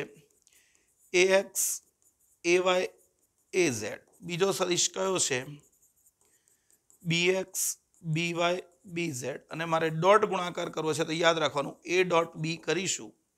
તો a x a y a z આ કયું સ્વરૂપ કહેવાય? સદી સ્વરૂપ. હમણાં જ બોલી ગયો. આ કયું સ્વરૂપ કહેવાય? સદી સ્વરૂપ. એક્સ વાય ઝેડ યામ છે. અને આ પણ કયું સ્વરૂપ છે? એ પણ સદિશ સ્વરૂપ છે, કારણ કે એ પણ યામાક્ષમાં છે. પણ હવે ડોટ ગુણાકાર કરવાનો થાય તો એક્સ એક્સ યામનો ગુણાકાર. A x b x plus a y b y plus a z b z. તો મૂલ્ય મૂલ્ય મૂલ્ય સરવાળો કરીશું તો એક મૂલ્ય જ મળશે. એટલે મૂલ્ય આપણને કેવું મળશે? અદિશ મળશે. મૂલ્ય આપણને કેવું મળશે? અદિશ મળશે. રાઈટ ચાલો નેક્સ્ટ હવે, જો બે સદીશો, ભાઈ બે સદીશો પરસ્પર લંબ હોય, બહુ જ અગત્યનું અગત્યનું. બે સદીશો પરસ્પર લંબ હોય તો જો બે સદીશો પરસ્પર લંબ હોય, એ લંબ બી તો શું થાય? તો ભાઈ બંનેનો ડોટ ગુણાકાર ઝીરો થાય. એટલે જો આને લખવું હોય તો આવું લખાય. એની આવશ્યક અને પર્યાપ્ત સરળ એટલે આ આવું, તો આ આવું. એનો મતલબ એ અને બી લંબ હોય તો ડોટ ગુણાકાર ઝીરો થાય. અને ડોટ ગુણાકાર ઝીરો હોય તો બંને પરસ્પર લંબ હોય. કેમ? ભાઈ બંને લંબ હોય, બંને લંબ હોય, તો કોસ નાઇન્ટી કેટલો? ઝીરો એટલે દોઢ ગુણાકાર તમને ઝીરો મળી જશે. ખરું કે નહીં? તો આ આવશ્યક અને પર્યાપ્ત સરસ છે. આના ઉપરથી ઘણા એમસીક્યુ એવા હશે કે તમારે યામક્ષ પદ્ધતિમાં કોઈ યામ અજ્ઞાત હશે અને બંને સદીશો લંબ હશે ને તમારે એ યામનું મૂલ્ય શોધવાનું રહેશે. ખરું? ચાલો આગળ. ભાઈ, અક્ષો પરના એકમ કોઈ પણ સદીશનો એના પોતાના જ સાથે ડોટ ગુણાકાર કરીએ તો. બેનો, પોતાના જ સાથે ડોટ ગુણાકાર કરો તો જો હું કરી જાઉં. X a y a z dot a x a y a z x into x a x square a y into a y a y square a z into a z a z square અલા આ તો એનું મૂલ્ય જ થઈ ગયું કોઈ પણ સદીશ તો એની પોતાના જ સાથે ડોટ ગુણાકાર કરો તો એ તો એનું મૂલ્ય જ થઈ ગયું એટલે મૂલ્યનો સ્ક્વેર કરી દીધું અને બચ્ચાઓ તો પછી અક્ષોપના એકમ સદીશ આઈ ડોટ આઈ ભાઈ i dot i one zero zero dot one zero zero એટલે વન જ થાય જે ડોટ જે તો એ b zero one zero dot zero one zero a b one થશે અને કે ડોટ કે કરીશું તો પણ જીરો સોરી વન થશે. હવે આઈ એટલે એક્સ દિશા અને જે એટલે વાય દિશા. તો આઈ બંને પરસ્પર લંબ છે અને લંબ હોય તો એમનો ડોટ ગુણાકાર ઝીરો થાય. તો આઈ ડોટ જે કરવું હોય તો એક ઉદાહરણ આપું તો વન ઝીરો ઝીરો ડોટ ગુણાકાર ઝીરો વન જીરો તો આ શું થઈ ગયું? વન જીરો જીરો જીરો એટલે જીરો તો આઈ ડોટ જે બરાબર જીરો જે ડોટ કે બરાબર જીરો અને કે ડોટ આઈ બરાબર પણ ઝીરો જ થાય. ખરું? તો આ સદીશોનો કયો ગુણાકાર કર્યો? આપણે ડોટ ગુણાકાર કર્યો. અને ડોટ ગુણાકારમાંથી મળતું પરિણામ અદિશ હોય. નેક્સ્ટ ચાલો, હવે એક સાદું વસ્તુ સમજાવું, તમને આવડવું જોઈએ. હવે માની લો કે એક છે એ પ્લસ બીનો સ્ક્વેર શું થાય? ભાઈ એ પ્લસ બીનો સ્ક્વેર થાય. એ સ્ક્વેર પ્લસ મધ્યમ પદ two a b plus b square કાને આને આવું લખીએ છીએ. A square plus b square plus two a b ભાઈ, આવું ચાલે? હા, ચાલે. સો ટકા. આપણે તો આવું શીખ્યા છીએ. છઠ આઠમા ધોરણથી આપણને આવું જ શીખવાડે છે કે એ પ્લસ બીનો સ્ક્વેર બરાબર આ. કારણ કે આ પણ એક મૂલ્ય છે આ પણ એક મૂલ્ય છે, એટલે આવું. પણ માની લો કે એ કોઈ સદીશ છે બી કોઈ સદીશ છે, અને સ્ક્વેર કરું તો શું થાય? તો પછી એ પ્લસ બી ડોટ ગુણાકાર a dot plus b a dot a a dot a plus a dot b plus b dot a plus b dot b કોઈપણ સદીશનો એની સાથે જ ડોટ ગુણાકાર કરો તો એ સ્ક્વેર થઈ જાય. તો આ થઈ ગયું તમારું એ સ્ક્વેર પ્લસ. આ શું થઈ ગયું? એ ડોટ બી કે બી ડોટ એ બંને સરખા જ કહેવાય. એ ડોટ બી કરો કે બી ડોટ એ કરો, બંને સમક્રમી છે એટલે સરખા જ કહેવાય. તો ટુ એ ડોટ બી થઈ ગયું. અને પ્લસ બી ડોટ બી એટલે બી સ્ક્વેર થઈ જશે. તો આ બંને સરખા જ છે ને ભાઈ? ના, સરખા નથી. આ બંને અદિશ અદિશનો ગુણાકાર છે. આ બે સદિશનો ડોટ ગુણાકાર આવ્યો. એટલે આને સરખું લખો તો આવું લખાય. A square plus two a b cos theta plus b square અને આને આ રીતે લખી દઉં તો a square plus b square plus two a b cos theta. યાદ રાખો, આ બંનેમાં ફર્ક છે. તો મગજમાં ફિટ થઈ ગયું. આ એ પ્લસ બીનો સ્ક્વેર કરો તો a square plus b square plus two a b. પણ જો એ અને બી સદીશો છે ને એમનો સ્ક્વેર કરો, સરવાળો સરવાળો કરીને સ્ક્વેર કરો, તો a square plus b square plus two a b cos theta. જ્યાં થીટા કોણ છે? ભાઈ, થીટા એ સદીશ એ અને સદીશ બી વચ્ચેનો ખૂણો છે. રાઈટ આ બંને વચ્ચેનો ખૂણો છે. તો આપણને મળી ગયું એક સદિશના સરવાળાના સ્વરૂપમાં પણ સૂત્ર મેળવવું હોય તો મેળવાય કે ભાઈ એક સદિશ છે એ બીજો સદિશ છે બી બંને વચ્ચેનો ખૂણો છે ઠીટા તો પરિણામી સદિશ કોણ? ભાઈ પરિણામી સદિશ જો મારે કેવો હોય તો આર અને આર કોનો? એ અને બીનો સરવાળો. પણ બંને બાજુ સ્ક્વેર કરી દઉં, તો બંને બાજુ સ્ક્વેર કરી દઉં, સ્ક્વેર સ્ક્વેર. તો r square is equal to a plus Bino square તો આ શું થઈ ગયું? આ રીતે આની રીતે એ કરીએ તો a square plus b square plus two a b cos theta. તો પછી આર બરાબર તમે વર્ગમૂળમાં મૂકી શકો. A square plus b square plus two a b cos theta. Square plus b square plus two a b cos theta. Right? તો આવું તો તમને આવડે, સો ટકા આવડે. હા કે ના? ચાલો કોઈ કહેશે પણ માઇનસ હોય તો શું કરીએ? એટલે માઇનસ હોય તો કશું ચિંતા નહીં. ફિકર નોટ એ માઇનસ બીનો સ્ક્વેર જે વિસ્તરણ કરીએ જ રીતે a square plus b square પણ અહીંયા ખાલી મધ્યમ પદ તમે જે માઇનસમાં લખતા હતા, બસ એ જ આવશે. તો માની લો કે તમારે સદીશ છે કોઈ આર બરાબર એ માઇનસ બી કરવાનો થયો અને એનું મૂલ્ય આવ્યું તો પણ વર્ગમૂળમાં સેમ જ. A square plus b square minus two a b cos theta, પણ આ ધ્યાન રાખવાનું, થીટા કોના વચ્ચેનો ખૂણો? ભાઈ, થીટા એની સાથે જે બે હોય આ ના એની વચ્ચેનો ખૂણો. એ અને બી વચ્ચેનો ખૂણો. બરાબર છે? ચાલો નેક્સ્ટ આ બે સદીશોનો કયો ગુણાકાર કર્યો? આપણે બે સદીશોનો ડોટ ગુણાકાર કર્યો. જેમ જેમ એમસીક્યુ આવતા જશે, એમ આપણે ગણતા જઈશું આને. બરાબર છે? ચાલો, આગળ વધીએ. હવે, બે સદીશોનો સદિશ ગુણાકાર. ભાઈ, હમણાં કેવું હતું કે બે સદિશોનો આપણે ગુણાકાર કર્યો. માની લો કે એક સદિશ હતો a x a y a z એની જોડે ડોટ ગુણાકાર કર્યો તો b x b y b z મળે છે. અને ગુણાકારમાં એ એક્સ બી એક્સ એટલે કોઈ મૂલ્ય પ્લસ મૂલ્ય પ્લસ મૂલ્ય એટલે અહીંયા મૂલ્ય જ મળે છે. એટલે આ સદિશોનો અધિશ ગુણાકાર કહેવાય. પણ હવે મારે સદિશોનો સદિશ ગુણાકાર જોઈએ છે. શું જોઈએ છે? સદિશોનો સદિશ ગુણાકાર. એનો મતલબ એવો થાય, એનો મતલબ એવો થાય, શું થાય? કે હું કોઈ સદિશ a x a y a z જોડે બીજો સદિશ b x b y b z ગુણું તો મને જે પરિણામી મળશે એ પરિણામી પણ આવો જ મળવો જોઈએ. R x r y r z આપણ પણ સદિશ, આપણ સદિશ બંનેનો ગુણાકાર કરવાથી જે મળે એ આવો મળવો જોઈએ એટલે સદિશ જ હોય. ખરું? તો શું કરીએ? તો એક કામ કરીએ પહેલા તો ભૂસી નાખીએ. ચાલો. તો એવો જો ગુણાકાર કહેવાય, એને બે સદિશોનો સદિશ ગુણાકાર કહેવાય. બે સદિશોનો એવી રીતે ગુણાકાર કે જેથી મળતું પરિણામ શું હશે? સદિશ હશે. તો અહીંયા લખીએ. એને ક્રોસ ગુણાકાર પણ કહેવાય. કયો ગુણાકાર કહેવાય? ચોકડી ગુણાકાર, જેને આપણે ક્રોસ વડે દર્શાવીએ છીએ. એટલે કે ભાઈ, બે સદિશોના ગુણાકારથી, બે સદિશોના ગુણાકારથી મળતું પરિણામ કેવું હોય? સદિશ જ હોય. તો એને દર્શાવવાનું એ ક્રોસ બી સ્વીકારી લઈશું હમણાં. બરાબર, mod A mod B cos theta શું થાય sorry sorry sorry sorry sorry sorry sorry હમણાં ફોર્મમાં આવી ગયો હું. Mod A mod B sine theta પણ આ તો મૂલ્ય છે, આ પણ મૂલ્ય છે, આ પણ મૂલ્ય છે. તો દિશા ક્યાં?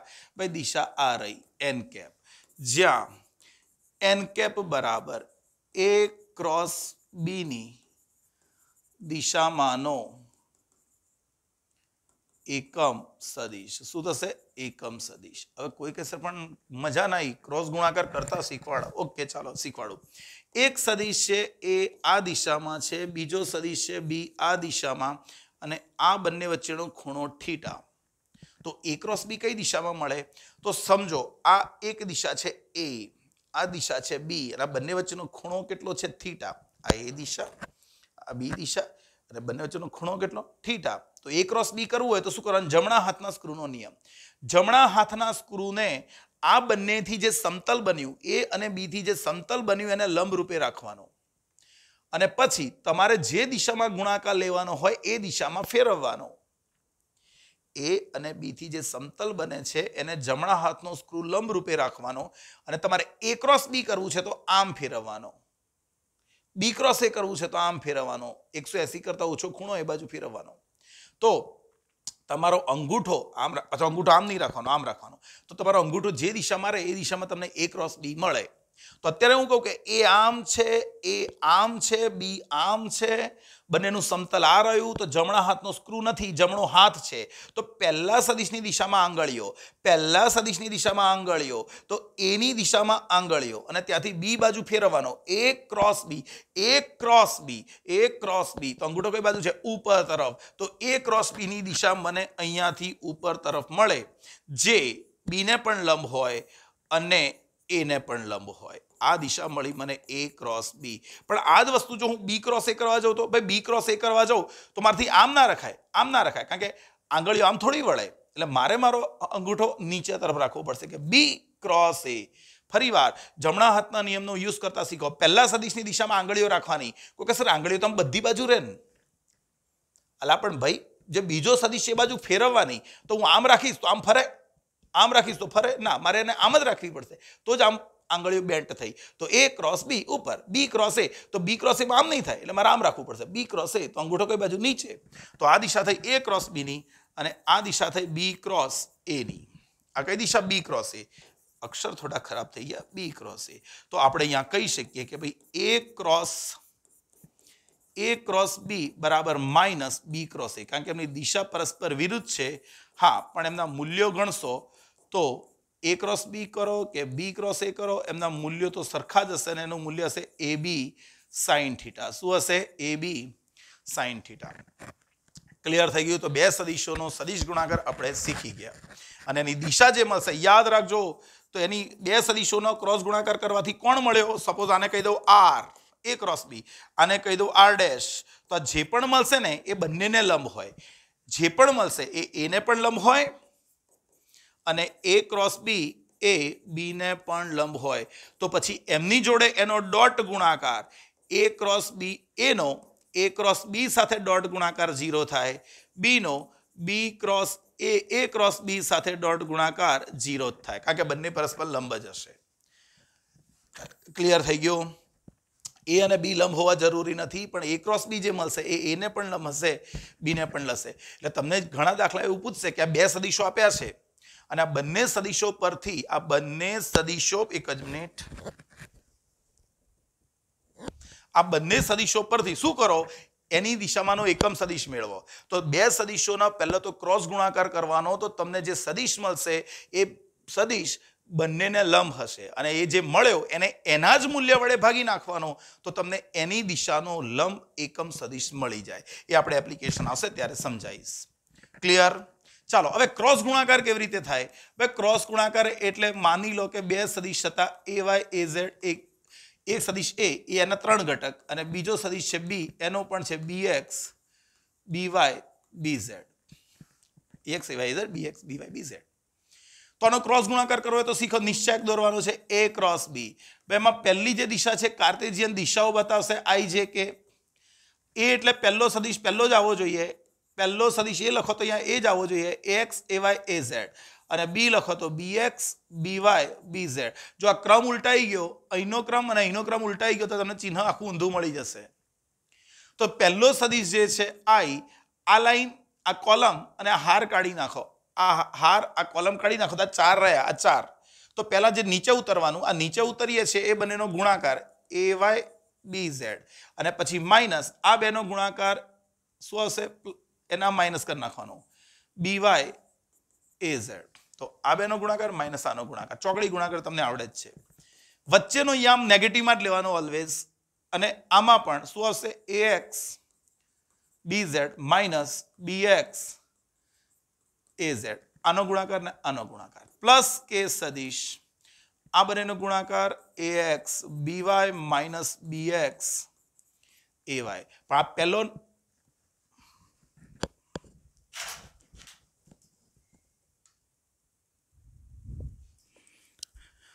ચાલો મિત્રો, તો લાઇટ જતું રહ્યું હતું. બરાબર છે, એટલે સ્ક્રીન બંધ થઈ ગઈ હતી. આપણે જે સેવ કર્યું નહોતું ભૂલથી, એટલે રહી ગયું છે. તો ફરી એકવાર એ ક્રોસ બી કરવાનું હોય તો શું કરવાનું હતું? તો એ ક્રોસ બીમાં આપણે ભણી ગયા હતા. પહેલો જે હશે, એ આઈ ઘટક આવશે જે ઘટક આવશે કે ઘટક આવશે. અહીંયા a x a y a z b x b y b z ખરું કે નહીં?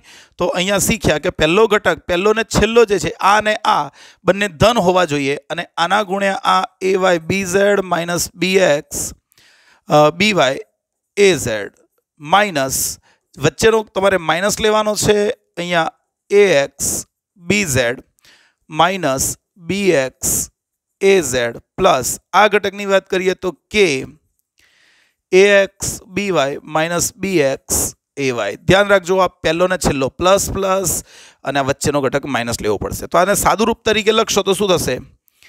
એ વાય બી ઝેડ ખરું ને?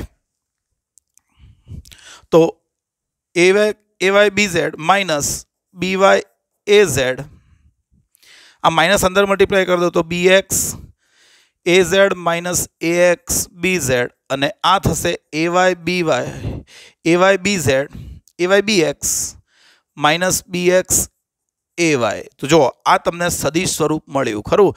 બે સદિશોનો સદિશ ગુણાકાર. એટલે જ્યારે જરૂર પડશે ત્યારે આપણે આ પણ કરીશું. ચાલો, એનો મતલબ હવે કોઈ પણ સદિશના પોતાના જ સાથે ક્રોસ ગુણાકાર કરીએ તો શું થાય? એ ક્રોસ એ કરીએ તો.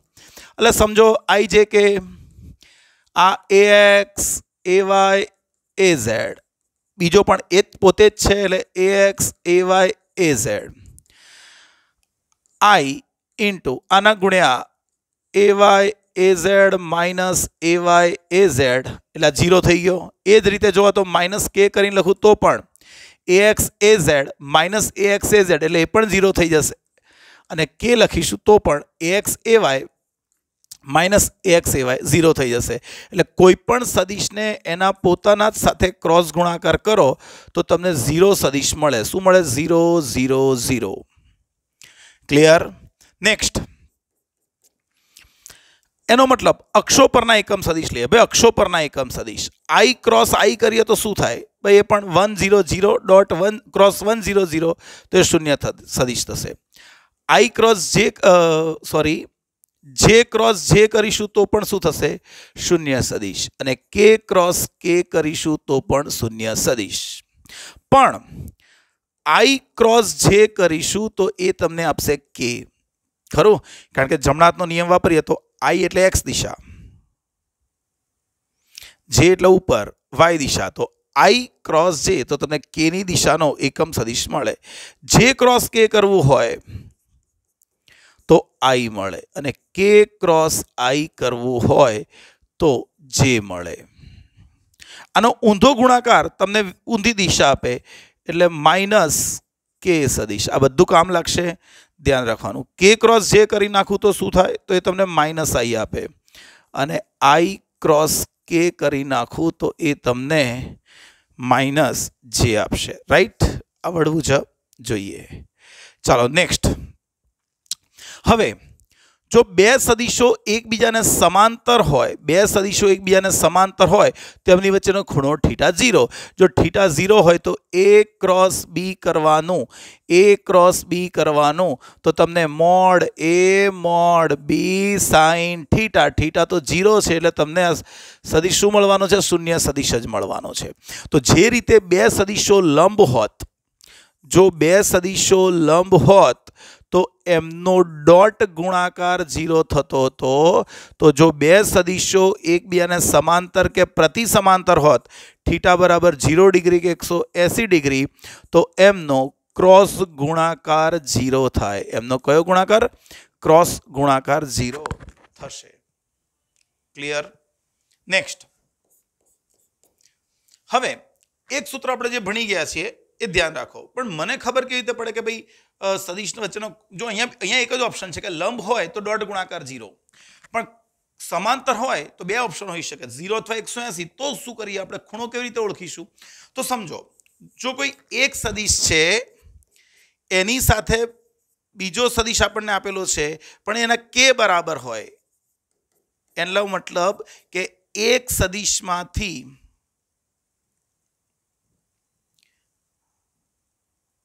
હા, એક સદિશમાંથી બીજો સદિશ છે. એકમાંથી કંઈક કોમન કાઢવાથી અથવા ગુણવાથી બીજો થઈ જતો હોય.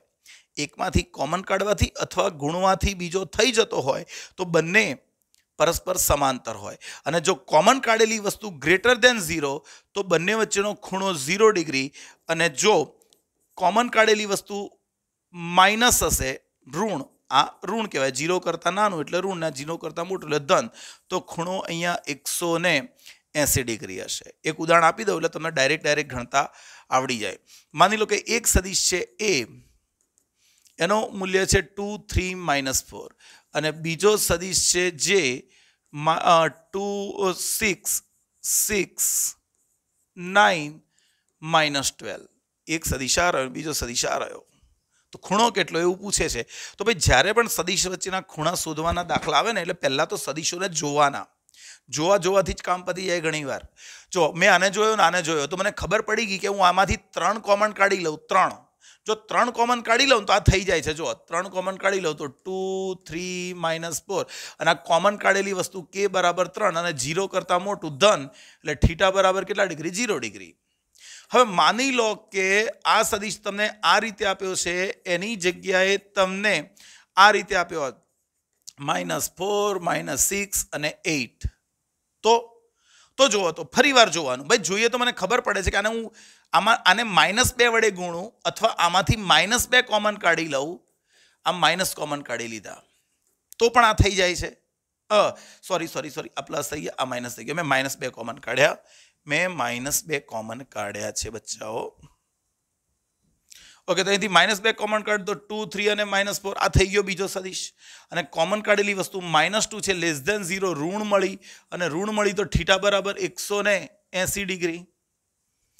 ખ્યાલ આવે છે? હજુ જોઈએ. ભાઈ, હજુ કહે છે, એ બરાબર. ચાલો ટુ થ્રી માઇનસ ફોર છે. બી સદીશ મૂકી દઉં તો સપોઝ એક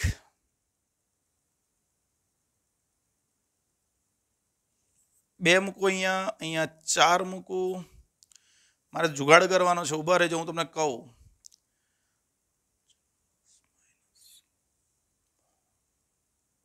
અહીંયા પાંચ મૂકી દઉં. ચાલો, આ સદિશ એમનો ખૂણો કેટલો? તો ભાઈ બંનેને આપણે જોવાના ધ્યાનથી. હા હા, બરોબર છે. કશું કોમન નીકળે છે? ના ભાઈ, કશું કોમન નીકળતું નથી. તો બંને વચ્ચેનો ખૂણો જીરો કે એકસો એંસી નથી. તો શું કરવાનું? તો બંને વચ્ચે ડોટ ગુણાકાર કરી જોવાનો.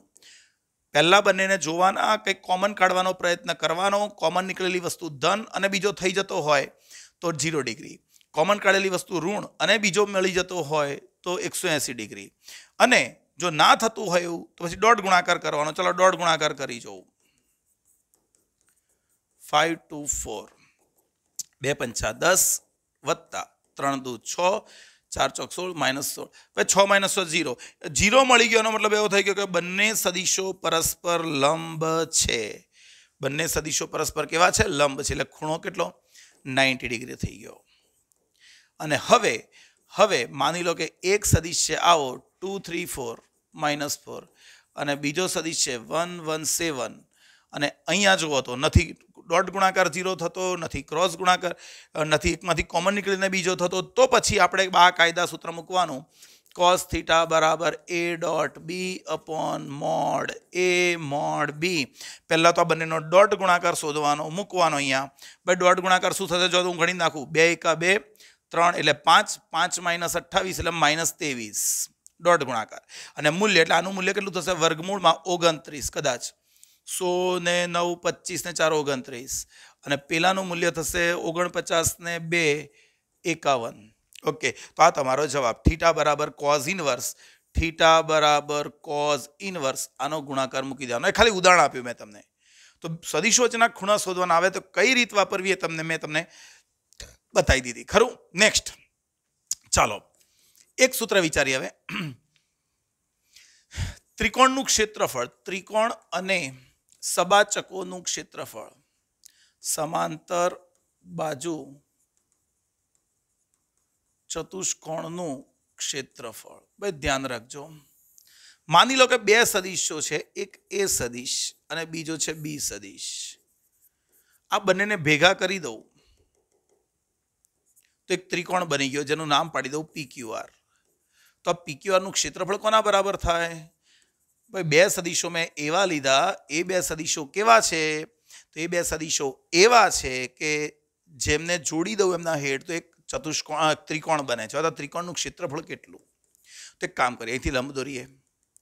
આને કહી દઉં એમ બિંદુ અને આ ખૂણાને કહી દઉં ઠીટા તો ભાઈ, ત્રિકોણનું ક્ષેત્રફળ બરાબર એક દૂત્યાંશ ગુણ્યા પાયો પાયો એટલે કોણ? ક્યુઆર અને વેદ એટલે કોણ? પીએમ એક દ્વિતીયાંશ ગુણ્યા પાયો પાયો એટલે ક્યુઆર અને વેદ એટલે પીએમ ચાલો વન હાફ. ભાઈ વેદ એટલે કોણ? વેદ એટલે તો એનું મૂલ્ય. અને પીએમ ભાઈ પીએમ ખબર નથી, પણ આકૃતિમાં આ કાટકોણ ત્રિકોણ થયો આ. તો સાઇન થીટા યુઝ કરું તો સાઇન થીટા બરાબર સામેની બાજુ પીએમ અપોન કર્ણ પીક્યુ પણ પીક્યુ એટલે તો બી છે. તો આના ઉપરથી બીનું મૂલ્ય, એટલે પી, મને પીએમ શું મળી જશે? પીએમ બરાબર શું મળી જશે? Mod b sine theta. તો અહીંયા મૂકી દેશો તો મોડ બી સાઇન થીટા. પણ આપણને આ ખબર છે એ ક્રોસ બી. ભણી ગયા કે નહીં? તો આવી ગયું એ ક્રોસ બે. યાદ રાખો, આ બહુ અગત્યનું સૂત્ર, ત્રિકોણનું ક્ષેત્રફળ માટે ક્ષેત્રફળ.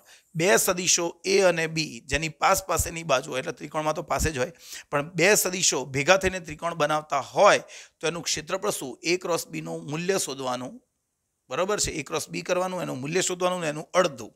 અને આ જ રીતે સમાંતર બાજુ ચતુષ્કોણની વાત કરવી હોય, કઈ? સમાંતર બાજુ. તો આપણને ખબર છે ચતુષ્કોણમાં શું થશે? પછી ચતુષ્કોણમાં સામસામેની બાજુઓ કેવી હોય? સમાંતર હોય. આ એ સદીશ, આ બી સદીશ, આને સમાંતર અહીં દોરું, આને સમાંતર અહીં દોરું, તો સમાંતર બાજુ ચતુષ્કોણ થઈ ગયો. તો આ બી હોય, તો આ પણ બી હોય. આ એ હોય, તો આ પણ એ હોય. અને અહીંયા લંબ દોરી, અહીંયા દોરી દો તો જો બે ભાગમાં વેચાઈ ગયું, આ ત્રિકોણ નંબર એક અને આ ત્રિકોણ નંબર બે. તો પછી ક્ષેત્રફળ કેવું હોય? ક્ષેત્રફળ, ચતુષ્કોણનું ક્ષેત્રફળ. તો આવા બે ભાગ થયા. એક ભાગનું ક્ષેત્રફળ આ રહ્યું અને એવા બે ભાગ. એટલે અહીંયા હાફ કરવું નહીં, બંનેનો ખાલી ક્રોસ ગુણાકાર જ. શું આવશે? બંનેનો માત્ર ક્રોસ ગુણાકાર. ક્લિયર ચાલો, આગળ. એક વસ્તુ છે ત્રિકોણ માટે સાઇન સૂત્ર. કયું સૂત્ર? સાઇન સૂત્ર. ત્રિકોણમાં સાઈન સૂત્ર. કામ લાગશે કદાચ આગળ. તો માની લઉં કે આ એક સદીશની રીતે મેળવી શકાય, પણ આપણે યાદ રાખો ખાલી, આ એ સદીશ, આ બી સદીશ, આ સી સદીશ, એટલે શિરોબિંદુઓ છે. એની આ ખૂણોને કેપિટલ એ કહી દઉં અને એના સામેના સદીશને એ કહી દઉં. આની સામ, આનો ખૂણોને બી કહી દઉં અને એની સામેના ખૂણાને બી સદીશ કહી દઉં. આ જે છે, એની સામેના સદીશને સી સદીશ કહી દઉં ખૂણાને કેપિટલ સી કહી દઉં. તો યાદ રાખવાનું, કોઈ પણ સદીશનું મૂલ્ય અને એની સામેના ખૂણાનો સાઈન નો ગુણોત્તર અચળ હોય. એટલે આ સદીશનું મૂલ્ય એ સદીશ અને સામે એ તો ભાગ્યા સમાન જ રહે. એ જ રીતે બી છે તો એની સામે કોણ છે? બી. તો બી સદીશનું મૂલ્ય અને ખૂણાની સાઈન થીટા, એટલે સાઈન બી. અને એ રીતે અહીંયા સી સદીશ છે તો સી અને એની સામે સાઇન સી આ મૂલ્યો કેવા રહે? સમાન જ રહે. ખરું? એટલે સાઇન સૂત્ર. અને આને તમારે આ રીતે પણ કહી શકો, હા, કે આ સદીશ માનો કે એ છે, આ સદિશ છે બી સદિશ, અને આ છે સી સદિશ. હવે એ સદિશની ઓપોઝિટમાં જે ખૂણો છે, એ માની લો કેપિટલ એ બી સદિશની સામેનો ખૂણો છે, એ બી માની લો, અને સીની સામે છે સી માની લો. તો પણ આ સૂત્ર વેલિડ થશે. ખાલી ફરક આટલો કે અહીંયા હું નામ નાના આપી દઉં સ્મોલ આપી દઉં તો તમને ખ્યાલ આવે. એટલે આ સદિશ તમારો કોણ? એ સદિશ. આ સદિશ કોણ તમારો? બી સદિશ. અને આ તમારો સી સદિશ. તો પણ આ સૂત્ર ફોલો થશે. ક્લિયર ચાલો, આટલું આપણને સદિશોમાં આવડવું જોઈએ. ચાલો આગળ વધીએ નેક્સ્ટ હવે જઈએ સ્થાનાંતર પર. સ્થાના ઉપર જઈએ, સ્થાનાંતર. સ્થાનાંતર પેલામાં જે ગણતા હતા એ જ, પણ અહીંયા ખાલી તીર મારવાના છે. બહુ મોટા મોટા નહીં, બહુ નાના નાના તીર મારવાના છે. તો અહીંયા એક સદિશ હતો અહીંયા કે જેનું પ્રારંભિક સ્થાન હતું આર વન સ્થાન સદિશ. છે અને અહીંયા પહોંચી ગયો, અહીંયા પહોંચી ગયો ક્યુ બિંદુ પર કે જેનું સ્થાન સદિશ છે આર ટુ. તો અહીંયાથી આમ જોડી દઉં તો આ થયું એનું સ્થાનાંતર ડેલ્ટા આર. અને ડેલ્ટા આર બરાબર અંતિમ સ્થાન માઇનસ પ્રારંભિક સ્થાન. અંતિમ સ્થાન સદિશ માઇનસ પ્રારંભિક સ્થાન સદિશ. ખરું કે નહીં? એનું મૂલ્ય જોઈએ તો તમે મોડ મેળવી શકો છો. ચાલો, એના ઉપરથી આપણે વેગ સદિશ લાવવો છે. કયો સદિશ લાવવો છે? વેગ સદિશ. તો પછી ભાઈ સરેરાશ વેગનું સૂત્ર તો આપણે ભણી જ ગયા છીએ. કે સ્થાનાંતર સ્થાનાંતર કેટલું ભાઈ? સ્થાનાંતર સદિશ થયો આ. તો સ્થાનાંતર સદિશ બરાબર delta r upon delta e. અહીં હતો ત્યારે સપોઝ સમય ટી હતો ને અહીં પહોંચ્યો ત્યારે સમય ડેલ્ટા ટી થયો. તો અહીંથી અહીં જવા દરમિયાનનો સમય કેટલો? Delta t. અને એ દરમિયાન એને સ્થાનાંતર કેટલું કર્યું? તો ડેલ્ટા આર સદિશ જેટલું. તો એનો સરેરાશ વેગ મળ્યો. કયો વેગ મળ્યો? સરેરાશ વેગ. તો પછી આપણે એક કામ કરીએ કે આ જે છે, એને ઘટકો સ્વરૂપે હોય તો લખાય કે ભાઈ આ ઘટક કોણ છે? X one y one. અને આ કોણ છે? આનો સદિશ તો એક્સ ટુ વાય ટુ. તો પછી મારાનો સ્થાનાંતર સદિશ લખો, તો આ રીતે લખાય કે એક્સ એક્સ યામની બાદ બાકી એટલે એક્સ દિશાનું સ્થાનાંતર, વાય વાય દિશાની બાદ બાકી તો વાય દિશાનું સ્થાનાંતર ભાગ્યા સમયગાળો. તો આના ભાગ્યા કરી દઈશ, તો delta x upon delta t i caret plus delta આ delta y upon delta t. તો આ મને મળી જશે જે કેરેટ. ખરું? આ એક્સ દિશાનો સરેરાશ વેગ મળી ગયો. એક્સ દિશાનો સરેરાશ વેગ અને આ વાય દિશાનો સરેરાશ વેગ. ક્લિયર અને હવે જો મારે એનું તત્કાલીન વેગ જોઈતો હોય, તત્કાલીન વેગ, તો આપણે શું જાણીએ છીએ? ભાઈ તત્કાલીન વેગ વી બરાબર શું? ડીઆર અપોન ડીટી અલા પણ સ્થાન સદિશ તો આપણે કેવી રીતે બતાવીએ છીએ? દ્વિપરિમાણમાં. અત્યારે ત્રિપરિમાણ લખ્યું છે, પણ હું દ્વિપરિમાણની વાત કરું તો સ્થાન સદિશ આપણે કેવી રીતે બતાવીએ છીએ? ભાઈ સ્થાન સદિશમાં એક એક્સ ઘટક હોય અને એક વાય ઘટક હોય. તો આને જો થોડુંક સરખું લખીશું, તો શું થશે? વી બરાબર dx upon dt i caret plus dy upon dt j caret તો આ થઈ ગયું તમારો એક્સ દિશાનો ઘટક અને આ થઈ ગયો તમારો વાય દિશાનો ઘટક. આ એક્સ દિશાનો ઘટક તત્કાલીન અને આ વાય દિશાનો. તો હવે કોઈ પણ સમયે, કોઈ પણ સમયે કણના વેગની દિશા જોઈતી હોય, વેગની દિશા અથવા તો ગતિની દિશા જોઈતી હોય, તો જે તે ક્ષણે ટેન થીટા બરાબર વાયામ કોનો? વેગનો. જે તે ક્ષણના વેગનો વાયામ એક્સયામ એટલે આ તમને એની દિશા આપશે કે એ સમય કણ કઈ બાજુ જા રહેલા હે કે આ રહેલા હે. ટેન ઇન્વર્સ વાયમ છેદમાં એક્સયામ આવડે કે ના આવડે તો કે છે આપણને આવડે. રાઈટ નેક્સ્ટ આ વેગ મેળવ્યો. અને એ જ રીતે તમને પ્રવેગ સદિશ પણ મળી જશે ભાઈ. કે માની લો કે ટી સમયે પ્રવેગ કેટલો હતો? વી વન સદિશ. અને ટી પ્લસ ડેલ્ટા ટી સમયે વેગ કેટલો થઈ ગયો? વી ટુ સદીશ. તો સરેરાશ પ્રવેગ મારે ગણવો હોય તો વેગનો ફેરફાર ભાગ્યા સમયગાળો. તો આ તમારો થઈ ગયો v two minus v one upon delta t સરેરાશ વેગ. આમ જ મળે, બીજી કોઈ રીતે સરેરાશ વેગ ના મળે. મારે પ્રવેગ પ્રવેગ પ્રવેગ. અને તત્કાલીન પ્રવેગ જોઈતો હોય તો ભાઈ, તત્કાલીન પ્રવેગ જોઈતો હોય તો આનું limit delta t tends to zero કરી દઉં તો delta v upon delta t, આ થઈ ગયું તમારું ડીવી અપોન ડીટી. ખરું? તો એ બરાબર. ભાઈ, અહીંયા બે ઘટકો પાડી દઉં કારણ કે વેગને પણ બે ઘટક હશે. વી એક્સ આઈ ઘટક પ્લસ વી વાય જે ઘટક. તો આનું વિકલન કરી નાખીએ તો જો, તો શું મળશે મને? Dv x upon dt i caret plus dv dv y upon dt j caret, તો આ થઈ ગયું પ્રવેગ એ બરાબર એક્સ દિશાનો ઘટક પ્લસ વાય દિશાનો ઘટક. તો પ્રવેગની દિશા જો તમારે જોઈતી હોય, તો પ્રવેગની દિશા, તો થીટા બરાબર ટેન ઇનવર્સ પ્રવેગનો વાયામ છેદમાં પ્રવેગનો એક્સયામ આવડે કે ના આવડે? સિમ્પલ છે, આવડવું જ જોઈએ. ચાલો આગળ. આગળ વાત કરીએ અચળ પ્રવેગી ગતિના સમીકરણો, અચળ પ્રવેગી ગતિના સમીકરણો. ભાઈ ચેપ્ટર ત્રણમાં સમજ્યા હતા, એ પ્રમાણે ચેપ્ટર ત્રણ પ્રમાણે જ ગણવાનું છે, પણ માત્ર અહીં દિશા આવશે. અંદર શું આવશે? દિશા અંદર એડ કરવી પડશે. એટલે ઉપર તીર મારવાના કે ભાઈ પ્રવેગી ગતિના સમીકરણ શું હતા? વી બરાબર વી ઝીરો પ્લસ એટી સ્થાન સદિશના સ્વરૂપમાં લખવું પડશે તો આર માઇનસ આર ઝીરો બરાબર સરેરાશ વેગ ગુણ્યા સમય. સ્થાન સદિશનું ફરીવાર સ્થાનાંતર બરાબર શું સૂત્ર લખતા હતા? V zero t plus one half a t a square. અને આર માઇનસ આર ઝીરો બરાબર શું થશે અહીંયા? V square minus v zero square upon two a. પણ અહીંયા સદિશ છે. એટલે આપણે ટુ એ અને ડોટ ગુણાકાર કરીને બતાવીશું. જે રીતે પેલામાં લખતા હતા ચેપ્ટર ત્રણમાં એ જ સમીકરણો છે, પણ અહીંયા ખાલી દિશા સાથે ગણવાના છે. જે આપણે એપ્લિકેશન ગણીશું ત્યારે આપણને ખબર પડી જશે. ખરું? ચાલો આગળ. ભાઈ, પ્રવેગ કેટલી રીતે ઉત્પન્ન થાય? પ્રવેગ કેટલી રીતે ઉત્પન્ન થાય? યાદ રાખજો નાની નાની વસ્તુઓ. લાસ્ટ ત્રણ ટોપિક બાકી છે. અગત્યના ધ્યાન રાખો. પ્રવેગ કેટલી રીતે ઉત્પન્ન થાય? ભાઈ, પ્રવેગ એટલે શું? પ્રવેગ, વેગના ફેરફારનો સમય દર. વેગના ફેરફારનો સમય દર. તો પછી જેટલા જેટલી રીતે જેટલી રીતે જેટલી રીતે વેગને બદલી શકાય. યાદ રાખો, જેટલી રીતે વેગને બદલી શકાય, એટલી રીતે પ્રવેગ ઉત્પન્ન કરી શકાય. તો વેગ આપણે જાણીએ છીએ, તો વેગ કઈ રાશિ છે? સદિશ રાશિ છે. અને સદિશ રાશિ હોય તો એને બે વસ્તુ હોય. એક મૂલ્ય હોય અને બીજું કોણ હોય? દિશા.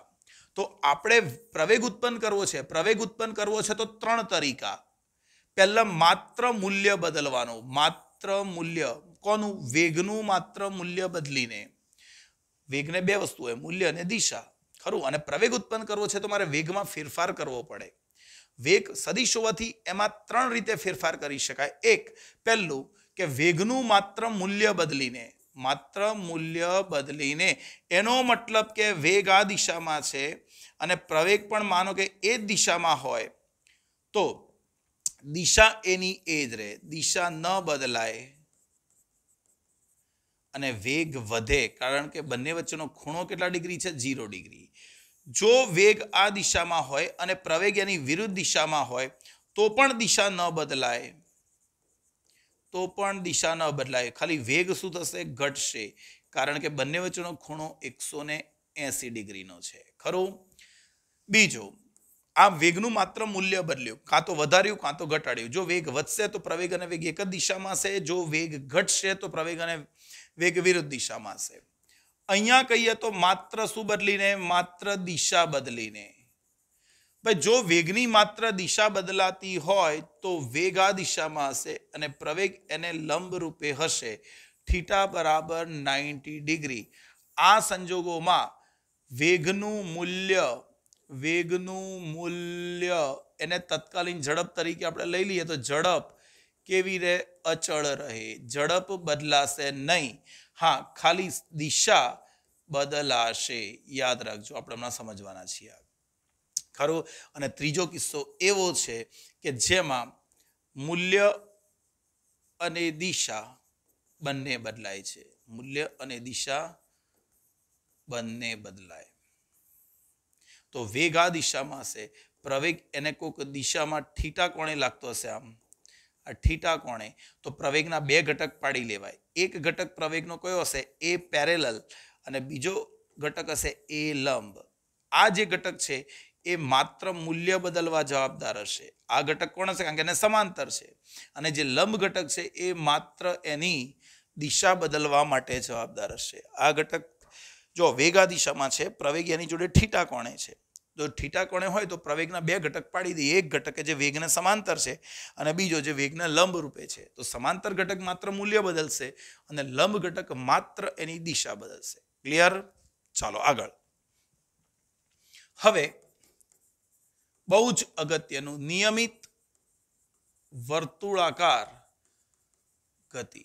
ભાઈ, નિયમિત વર્તુળાકાર ગતિ કોને કહેવાય? કે જ્યારે કોઈ કણ, જ્યારે કોઈ કણ અચળ ઝડપથી વર્તુળ પથ પર, વર્તુળ પથ પર ગતિ કરતો હોય. તો એની ગતિને નિયમિત વર્તુળાકાર ગતિ કહેવાય. અને નિયમિત વર્તુળાકાર ગતિ દરમિયાન આપણો કણ માનો કે પી બિંદુ પર છે કોઈ ટી ક્ષણે. અને આ ત્રિજ્યા કઈ એનું કેન્દ્ર છે વર્તુળ માર્ગનું અને એની ત્રિજ્યા છે. અને ગતિ કરીને માનો કે કોઈક બિંદુ ક્યુ સુધી પહોંચ્યો ટી પ્લસ ડેલ્ટા ટી સમયમાં, તો તત્કાલીન વેગની દિશા એના સ્પર્શકની દિશામાં હશે. વેગની દિશા જે તે બિંદુ આગળ એના સ્પર્શકની દિશામાં હશે. ખરું? યાદ રાખો, વક્ર માર્ગે ગતિ કરતો કોઈ પણ કણ હોય વક્ર માર્ગે તો એની દિશા વેગની કઈ ગણવાની? તો એના જે તે બિંદુ આગળ દોરેલા સ્પર્શકની દિશામાં. ખરું કે નહીં? તો વર્તુળ ગતિ ગણતો હોય તો અહીંયાની દિશા આમ હશે માનો કે આમ ફરતો હતો, હું સ્પર્શક આમ દોરતો પાછો. એટલે અત્યારે એની દિશા આ છે. તો અહીંયા વર્તુળ ગતિ કર, અચળ ઝડપથી. તો અહીં શું થાય? ભાઈ વર્તુળ ગતિ દરમિયાન ઝડપ. ઝડપ એટલે કોણ? વેગનું મૂલ્ય. કેવું રહે? અચળ રહે. ભાઈ, વર્તુળ, અચળ ઝડપથી વર્તુળ ગતિ કરે છે. એટલે વેગનું મૂલ્ય અચળ રહે. પણ દિશા સતત પણ એની દિશા સતત બદલાય. અને દિશા સતત બદલાય એટલે એની ગતિ પ્રવેગિત જ કહેવાય. પ્રવેગિત જ કહેવાય. અને આપણે હમણાં જ ભણ્યા કે ઝડપ અચળ રહેતી હોય, વેગનું મૂલ્ય અચળ રહે, પણ દિશા સતત બદલાતી હોય તો બંને વચ્ચેનો ખૂણો કેટલો હશે? Ninety degree. એનો મતલબ કે વેગ વી અને પ્રવેગ એ બંને પરસ્પર લંબ હશે. અલા, પણ વેગ તો સ્પર્શકની દિશામાં છે. જો વેગ સ્પર્શકની દિશામાં હોય અને પ્રવેગ એને લંબ રૂપે હોય, તો સ્વાભાવિક રીતે એનો પ્રવેગ આ દિશામાં હોવો જોઈએ. આ દિશામાં, કે જેથી બંને પરસ્પર લંબ હશે. એટલા માટે જે પ્રવેગ મળ્યો, એ પ્રવેગ કઈ બાજુ મળ્યો? કેન્દ્ર તરફ મળ્યો. કઈ તરફ મળ્યો? કેન્દ્ર તરફ મળે છે. એટલા માટે એનું નામ છે કેન્દ્રગામી પ્રવેગ. કયો પ્રવેગ? કેન્દ્રગામી પ્રવેગ. ખ્યાલ આવે છે? અને આ કેન્દ્રગામી પ્રવેગનું બીજું એક પણ નામ છે, ત્રિજ્યા ઉપર છે, એટલે એનું ત્રિજ્યાવર્તી પ્રવેગ તરીકે પણ ઓળખવામાં આવે.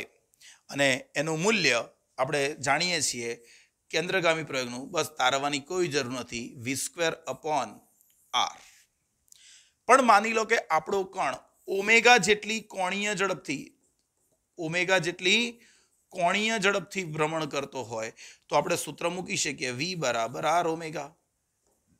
તૈયાર મૂકી દઈએ. ચાલો, તો એક સૂત્ર આ પણ થઈ જશે. આર ઓમેગા તો એક શું થઈ ગયું? આર ઓમેગા સ્ક્વેર આર ઓમેગાનો સ્ક્વેર એક આર નીકળી જશે. તો યાદ રાખો આપણું કેન્દ્રગામી પ્રવેગનું એક સૂત્ર આ પણ થઈ ગયું. ખરું? તો અહીંયા કેન્દ્રગામી પ્રવેગ ભાઈ વર્તુળ ગતિ કરતા પ્રવેગનું, એટલે કયો પ્રવેગ છે? કેન્દ્રગામી. વર્તુળ ગતિ કરતા કણ ઉપર લાગતા કેન્દ્રગામી પ્રવેગનું મૂલ્ય અચળ જ રહે. ભાઈ, મૂલ્ય અચળ જ રહે જુઓ ને ઝડપ બદલાતી નથી, ત્રિજ્યા છે એની એજ, તો ઝડપ ના બદલાય. પણ પ્રવેગની દિશા પ્રવેગની દિશા સતત બદલાય. કેમ સતત બદલાય? જે રીતે વેગ માટે એવું છે કે વેગની, વેગનું મૂલ્ય અચળ રહે, દિશા સતત બદલાયા કરે, સ્પર્શકની દિશામાં. અને વેગનું મૂલ્ય એટલે કે ઝડપ અચળ રહે. તો પ્રવેગ માટે પણ એવું જ છે કે પ્રવેગનું મૂલ્ય કેવું છે? અચળ. V square upon r r અચળ વી અચળ બધું અચળ પણ એની દિશા, ભાઈ, અહીં હશે તો એની દિશા આમ હશે, અહીં હશે તો દિશા આમ હશે, અહીં હશે તો આ બાજુ, અહીં હશે તો આ બાજુ. જે તે બિંદુ આગળથી કેન્દ્ર તરફની દિશામાં હોય એટલે દિશા તો સતત બદલાય. માટે પ્રવેગ સદિશ બદલાય એવું જ કહેવાય. પ્રવેગ સદિશ અચળ ના ગણાય એ તો બદલાય એવું જ કહેવાય. આ કેન્દ્રગામી પ્રવેગનું મૂલ્ય. રાઈટ નેક્સ્ટ ધ્યાન રાખજો હવે. એક અગત્યનો ટોપિક અહીં નવા પેજ પર શીખવાડું. હવે તમારે નીટમાં આવા દાખલા બહુ જ પૂછાય છે, એટલે આપણે ચોખ્ખું સમજી લઈએ નીટ ઉપર. ચોખ્ખું જ માની લો કે એક વર્તુળ ગતિ થાય છે, એક વર્તુળ ગતિ થાય છે. અને આ વર્તુળ ગતિ દરમિયાન તમારો કોઈ કણ છે, એ વર્તુળ ગતિ કરતો હોય તો આપણે એક્સ અક્ષની સાપેક્ષે ખૂણો ગણીએ. ચાલો, તમારો કોઈ કણ અહીં છે, કોઈ ક્ષણે પી અને ખૂણો બનાવે છે, થીટા. અને વર્તુળ ગતિ કરતો જાય છે. ખરું? અને અહીંયા એની કોણીય ઝડપ, ઓમેગા એટલે એની કઈ ઝડપ છે? કોણીય ઝડપ આપેલી છે. અને આ એની ત્રિજ્યા છે. તો ટી સમય પછી, ભાઈ ટી સમય પછી કણ ક્યાં હશે? અહીંયા હશે. એવું પકડીને ચાલો. ક્યુ બિંદુ આગળ. અને એને જે વધારાનો ખૂણો આંતર્યો, એ તમારો આટલો હશે? ઓમેગા ટી જેટલો હશે. કેવી રીતે ઓમેગા ટી ભાઈ, ખૂણો બરાબર વેગ ગુણ્યા સમય. પણ વેગ એટલે કોણીય વેગ લેવાનો? ઇન્ટુ ઓમેગા ટી ખરું? અને માની લો કે શરૂઆતમાં એક કામ કરીએ, ચાલો ને શરૂઆતનો ખૂણો હું જીરો પકડીને ચાલુ તો તમને વધારે ઇઝી રહેશે. આ બિંદુ ખરું હું અહીંયા લઈ લઉં છું. આ બિંદુ અહીં લઈ લઉં છું કે અહીંથી ગતિ એણે ચાલુ કરી જીરો આગળથી. અને અહીં પહોંચે છે ટી સમય પછી. તો એના ટોટલ ખૂણો કેટલો આંતર્યો? બટ ટોટલ ખૂણો એણે આંતરી દીધો કેટલો? આ ત્રિજ્યા આર આ ત્રિજ્યાના ખૂણો કેટલો? Omega t. તો મારે ક્યુ બિંદુના યામ કહેવા હોય? તો ક્યુ બિંદુના યામ. આર બરાબર. ભાઈ, મેં તમને શીખવાડ્યું. કોઈ સદીશ છે એક્સ અક્ષ સાથે થીટા કોણ બનાવે? એનું મૂલ્ય આર હોય. તો એના યામ શું? R. Cos theta i caret plus r sine theta j caret. યાદ રાખો. ભાઈ, ઓ ઝીરોથી ચાલુ કરીએ છીએ. ઓપી બિંદુ આગળથી ચાલુ કરીએ. ઝીરો સમય. અને આમ ફરતો જાય. તો ટી સમય પછીનું સ્થાન કેવું હોય? તો કોણ? Omega t. અને ઓમેગા ટી હોય તો અહીં હોય? ત્યારે એના યામ શું થાય? મૂલ્ય આર અને ખૂણો થીટા હોય તો r cos theta, r sine theta. પણ આર આપણને ખબર છે આર આર અને થીટાની જગ્યાએ omega t i caret. Plus r sine omega t j caret જો આ સદિશનું સ્થાન સદિશ આપેલો છે. આ વડે રજૂ થતી ગતિ વર્તુળ ગતિ હોય. આ સૂત્ર વડે રજૂ થતી કઈ હશે? વર્તુળ ગતિ. અને વર્તુળ ગતિ હોય તો એની ત્રિજ્યા કેટલી? આર છે. એની ત્રિજ્યા કેટલી? આર. ચાલો આનું વિકલન કરી નાખું. તો મને કોણ મળી જશે? વેગ. વેગ એટલે શું થશે? D r by d t. આનું વિકલન કરો. આર અચળ કોઝનું minus sine omega t i caret into omega ટીનું વિકલન ઓમેગા ગુણાકારમાં મૂકવાના. પ્લસ આ રચડ સાઇનનું cos omega t j caret અને ઇન્ટુ ઓમેગા મૂકવાના. જે રીતે અહીંયાથી આર કોમન કાઢી શકો એ રીતે અહીંયાથી આર ઓમેગા કોમન કાઢી લઉં. તો અહીંયાથી આર ઓમેગા કોમન અહીંયાથી મેં શું કર્યું? આર ઓમેગા કોમન કાઢી લીધા. તો અંદર બચશે minus sine omega t i caret plus cos omega t j caret હવે તમે ગૌર કરશો ને તો એક આ સૂત્ર અને આ સૂત્ર, આ બંનેને ગૌર કરો. આ સ્થાન સદિશનું સૂત્ર છે અને આ વેગનું સૂત્ર છે. તો અહીંયા તમારી ત્રિજ્યા કેટલી હતી? આર. અહીંયા મહત્તમ તમારો ઝડપ કહેવાય. મહત્તમ ઝડપ બોલવાનો પ્રશ્ન જ નથી, કારણ કે અહીંયા ઝડપ તો તમારી સમય સાથે બદલાતી નથી. ખાલી એની દિશા બદલાશે, એનું મૂલ્ય બદલાતું નથી. તો પછી ઝડપનું મૂલ્ય કેટલું હશે? ભાઈ, ઝડપ બરાબર આ રહ્યું તમારું સૂત્ર. જે રીતે આ મૂલ્ય થયું, સ્થાન સદિશનું મૂલ્ય આર, એ રીતે વેગ સદિશનું મૂલ્ય કેવું હોય તો આ થશે આર ઓમેગા. ખરું? આ એની ઝડપ મળી ગઈ, યાદ રાખવાનું. અને આ બંનેનો ડોટ ગુણાકાર કરશો, જો આર ડોટ વી કરી નાખશો તો જીરો થઈ જશે. શું થઈ જશે? આર ડોટ વી કેટલું થઈ જશે? જીરો. એનો મતલબ કે સ્થાન સદિશ અને વેગ સદિશ બંને પરસ્પર લંબ છે. આપણે જાણીએ પણ છીએ કે સ્થાન સદિશ એ ત્રિજ્યાવર્તી હશે અને વેગ સદિશ એ લંબ રૂપે હશે. આ દિશામાં વેગ સદિશ થશે. તો આ સ્થાન સદિશ, ત્રિજ્યાવર્તી બહાર તરફ, વેગ સદિશા દિશા બંને પરસ્પર લંબ. ચાલો, હજુ મારે જોઈએ છે પ્રવેગ. પ્રવેગ જોઈતો હોય તો ફરી પાછું વેગનું સમયની સાપેક્ષે વિકલન. આનું વિકલન કરીએ, ચાલો, માઇનસ અચળ, આર અચળ, ઓમેગા અચળ સાઇનનું cos omega t into omega, એટલે અહીંયા ઓમેગા સ્ક્વેર થઈ જશે આઈ કેરેટ. આનું વિકલન કરી નાખું તો કોઝનું માઇનસ ઓમેગા, અહીંયા કોઝનું શું થશે? Minus sine omega t into omega અહીંયા ઓમેગા સ્ક્વેર આ જે કેરેટ આવી જશે. હું આમાંથી માઇનસ ઓમેગા સ્ક્વેર કોમન કાઢી નાખું. માઇનસ ઓમેગા સ્ક્વેર તો આ શું થઈ ગયું? R cos omega t i caret plus r sine omega t j caret આ તો તમારો સ્થાન સદિશ થઈ ગયો. જુઓ. આ સ્થાન સદિશ થઈ ગયો. એટલે પ્રવેગ તમને આવો મળી ગયો. તો આ બતાવે છે તમને કે પ્રવેગનું મૂલ્ય કેટલું? ભાઈ પ્રવેગનું મૂલ્ય જો કેવું હોય, પ્રવેગનું મૂલ્ય તો આવ્યું જે રીતે આનું મૂલ્ય સ્થાન સદિશનું મૂલ્ય આર, વેગ સદિશનું મૂલ્ય આર ઓમેગા, એ રીતે આનું મૂલ્ય થશે આર ઓમેગા સ્ક્વેર અને એ જ આપણું થઈ જશે વી સ્ક્વેર બાય આર. કારણ કે આર ઓમેગા બરાબર આપણે વી લખ્યું જ છે, ખરું? અને દિશા, તો ભાઈ અહીંયા પ્રવેગ અને સ્થાન સદિશ બંને વચ્ચેનો ખૂણો કેટલો તો એકસો ને એંસી ડિગ્રી. આ ઋણ ચિહ્ન બતાવે એકસો એંસી ડિગ્રી. એનો મતલબ એવો થાય કે તમારો પ્રવેગ કઈ બાજુ આવશે? ભાઈ પ્રવેગ આ રહ્યો. આ કોણ? વેગ આ કયો સદીશ છે? સ્થાન સદીશ. આ વેગ સદીશના પ્રવેગ સદીશ. તો પ્રવેગ સદીશ એ આની વિરુદ્ધ દિશામાં હશે. ખરું? સ્થાન સદીશની. તો કોઈ મને કળા તફાવત પૂછે. કળા તફાવત. ભાઈ, કળા તફાવત કોની કોની વચ્ચે? આર અને વી વચ્ચે કળા તફાવત કેટલો? નાઇન્ટી. વી અને પ્રવેગ વચ્ચે કળા તફાવત કેટલો? તો પણ નાઇન્ટી.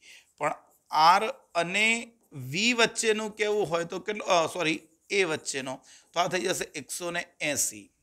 સ્થાન સદીશ વેગ પરસ્પર લંબ હશે, વેગ પ્રવેગ પરસ્પર લંબ હશે અને સ્થાન સદિશ અને પ્રવેગ આ બંને વચ્ચેનો ખૂણો એકસો ને એંસી ડિગ્રી હશે. તો તમે જ્યારે આ પ્રકારનું સમીકરણ જોવો એટલે સમજી જ જવાનું, એના ઉપરથી તમને ડાયરેક્ટ જ સ્થાન સદિશ, વેગ, વિકલન બધું જ મળી જશે. બરાબર છે? તો આ ટીનો છે સહગુણક હોય ટીનો જે સહગુણક હોય એને ઓમેગા કહેવાય. આ જ વસ્તુ દોલનોમાં પણ શીખવાના છીએ. તો ટીનો સહગુણક હોય એને શું કહેવાય? ઓમેગા. આ કોણ? આર તો ડાયરેક્ટ જ આ જ સમીકરણ તમને આપેલું હશે. આ જ સમીકરણ આપેલું હશે. એના ઉપરથી આ કોણ? ત્રિજ્યા. આરના ગુણ્યા ઓમેગા કરી દેશો તો ઝડપ. અને આરના ગુણ્યા ઓમેગા સ્ક્વેર કરી દેશો તો પ્રવેગ. દિશાની વાત થાય તો આર અને વી પરસ્પર લંબ, વી અને એ પરસ્પર લંબ, આર અને એ પરસ્પર વિરુદ્ધ દિશામાં. તો નિયમિત વર્તુળાકાર ગતિ માટે આપ ખાસ ધ્યાન રાખવાનો જે બોલી ગયો રાઈટ નેક્સ્ટ સૌથી અગત્યની ચીજ જે ચાલુ થવા જઈ રહી છે, એનું નામ છે પ્રક્ષિપ્ત ગતિ. કઈ ગતિ? પ્રક્ષિપ્ત ગતિ અને ગુજરાતીમાં કહીએ કહીએ છીએ.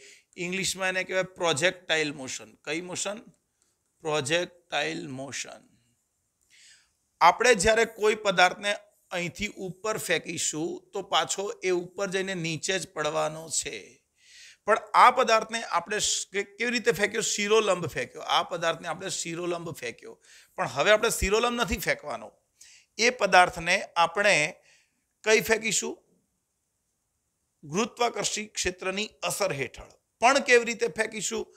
તો જ્યારે પદાર્થને જ્યારે પદાર્થને સમક્ષિતિજ સાથે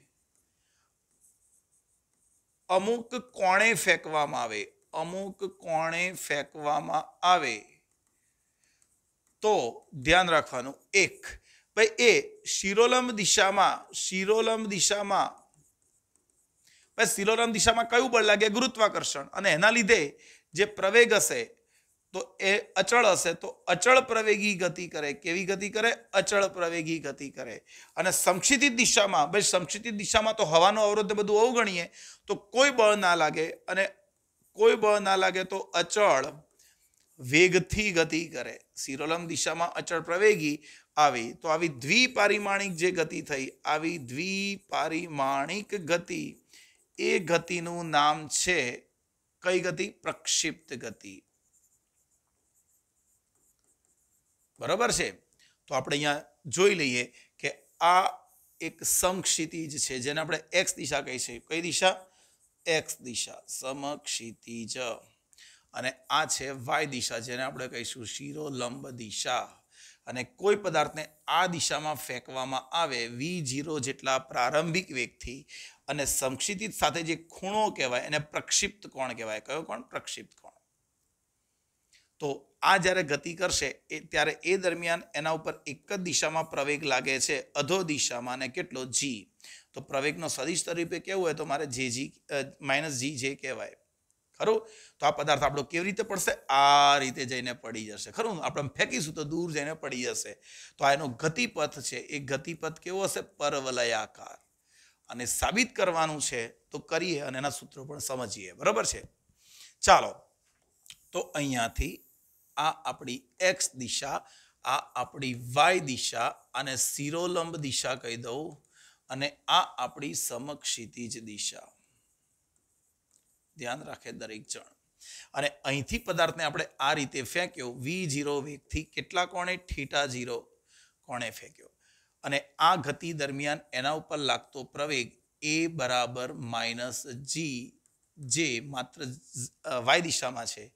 અધો દિશામાં, બીજો કોઈ પ્રવેગ નથી. તો બે ગતિ, ભાઈ બે ગતિ પરસ્પર લંબ હોય તો તેમને સ્વતંત્ર વર્ણન કરી શકાય. તો આપણે એક કામ કરીએ, વેગના જે ઘટક છે ને બે ઘટકોમાં વહેંચી દઈએ. વેગના ઘટકને બે વેગને બે ઘટકોમાં વહેંચી દઈએ. કયા કયા? એક સંક્ષિપ્ત દિશાનો ઘટક. ભાઈ આ ઘટક થઈ ગયો એક્સ દિશાનો ઘટક. આ વી ઝીરો તો આ ઘટક તમારો થઈ ગયો v zero cos theta zero એનો પ્રારંભિક કોણ? પ્રક્ષેપ કોણ? અને અહીં વાત કરીએ લંબ દોરી દઈશું, તો આ એનો વાય દિશાનો પ્રારંભિક ઘટક થઈ ગયો. વી ઝીરો વાય બરાબર v zero sine theta zero. તો આ દિશાનો, એક્સ દિશાનો વેગ છે v zero cos theta zero પ્રારંભિક અને Y દિશાનો v zero sine theta zero. હવે આપણો કણ આમ ગતિ કરતો જશે કરતો જશે એમ એમ, એના વેગના યામ બદલાતા જશે બદલાતા જશે. કોઈક એક ક્ષણે, કોઈ એક ક્ષણે આ થોડી લાઈન નાની છે ભાઈ. થોડીક મોટી કરી દઈએ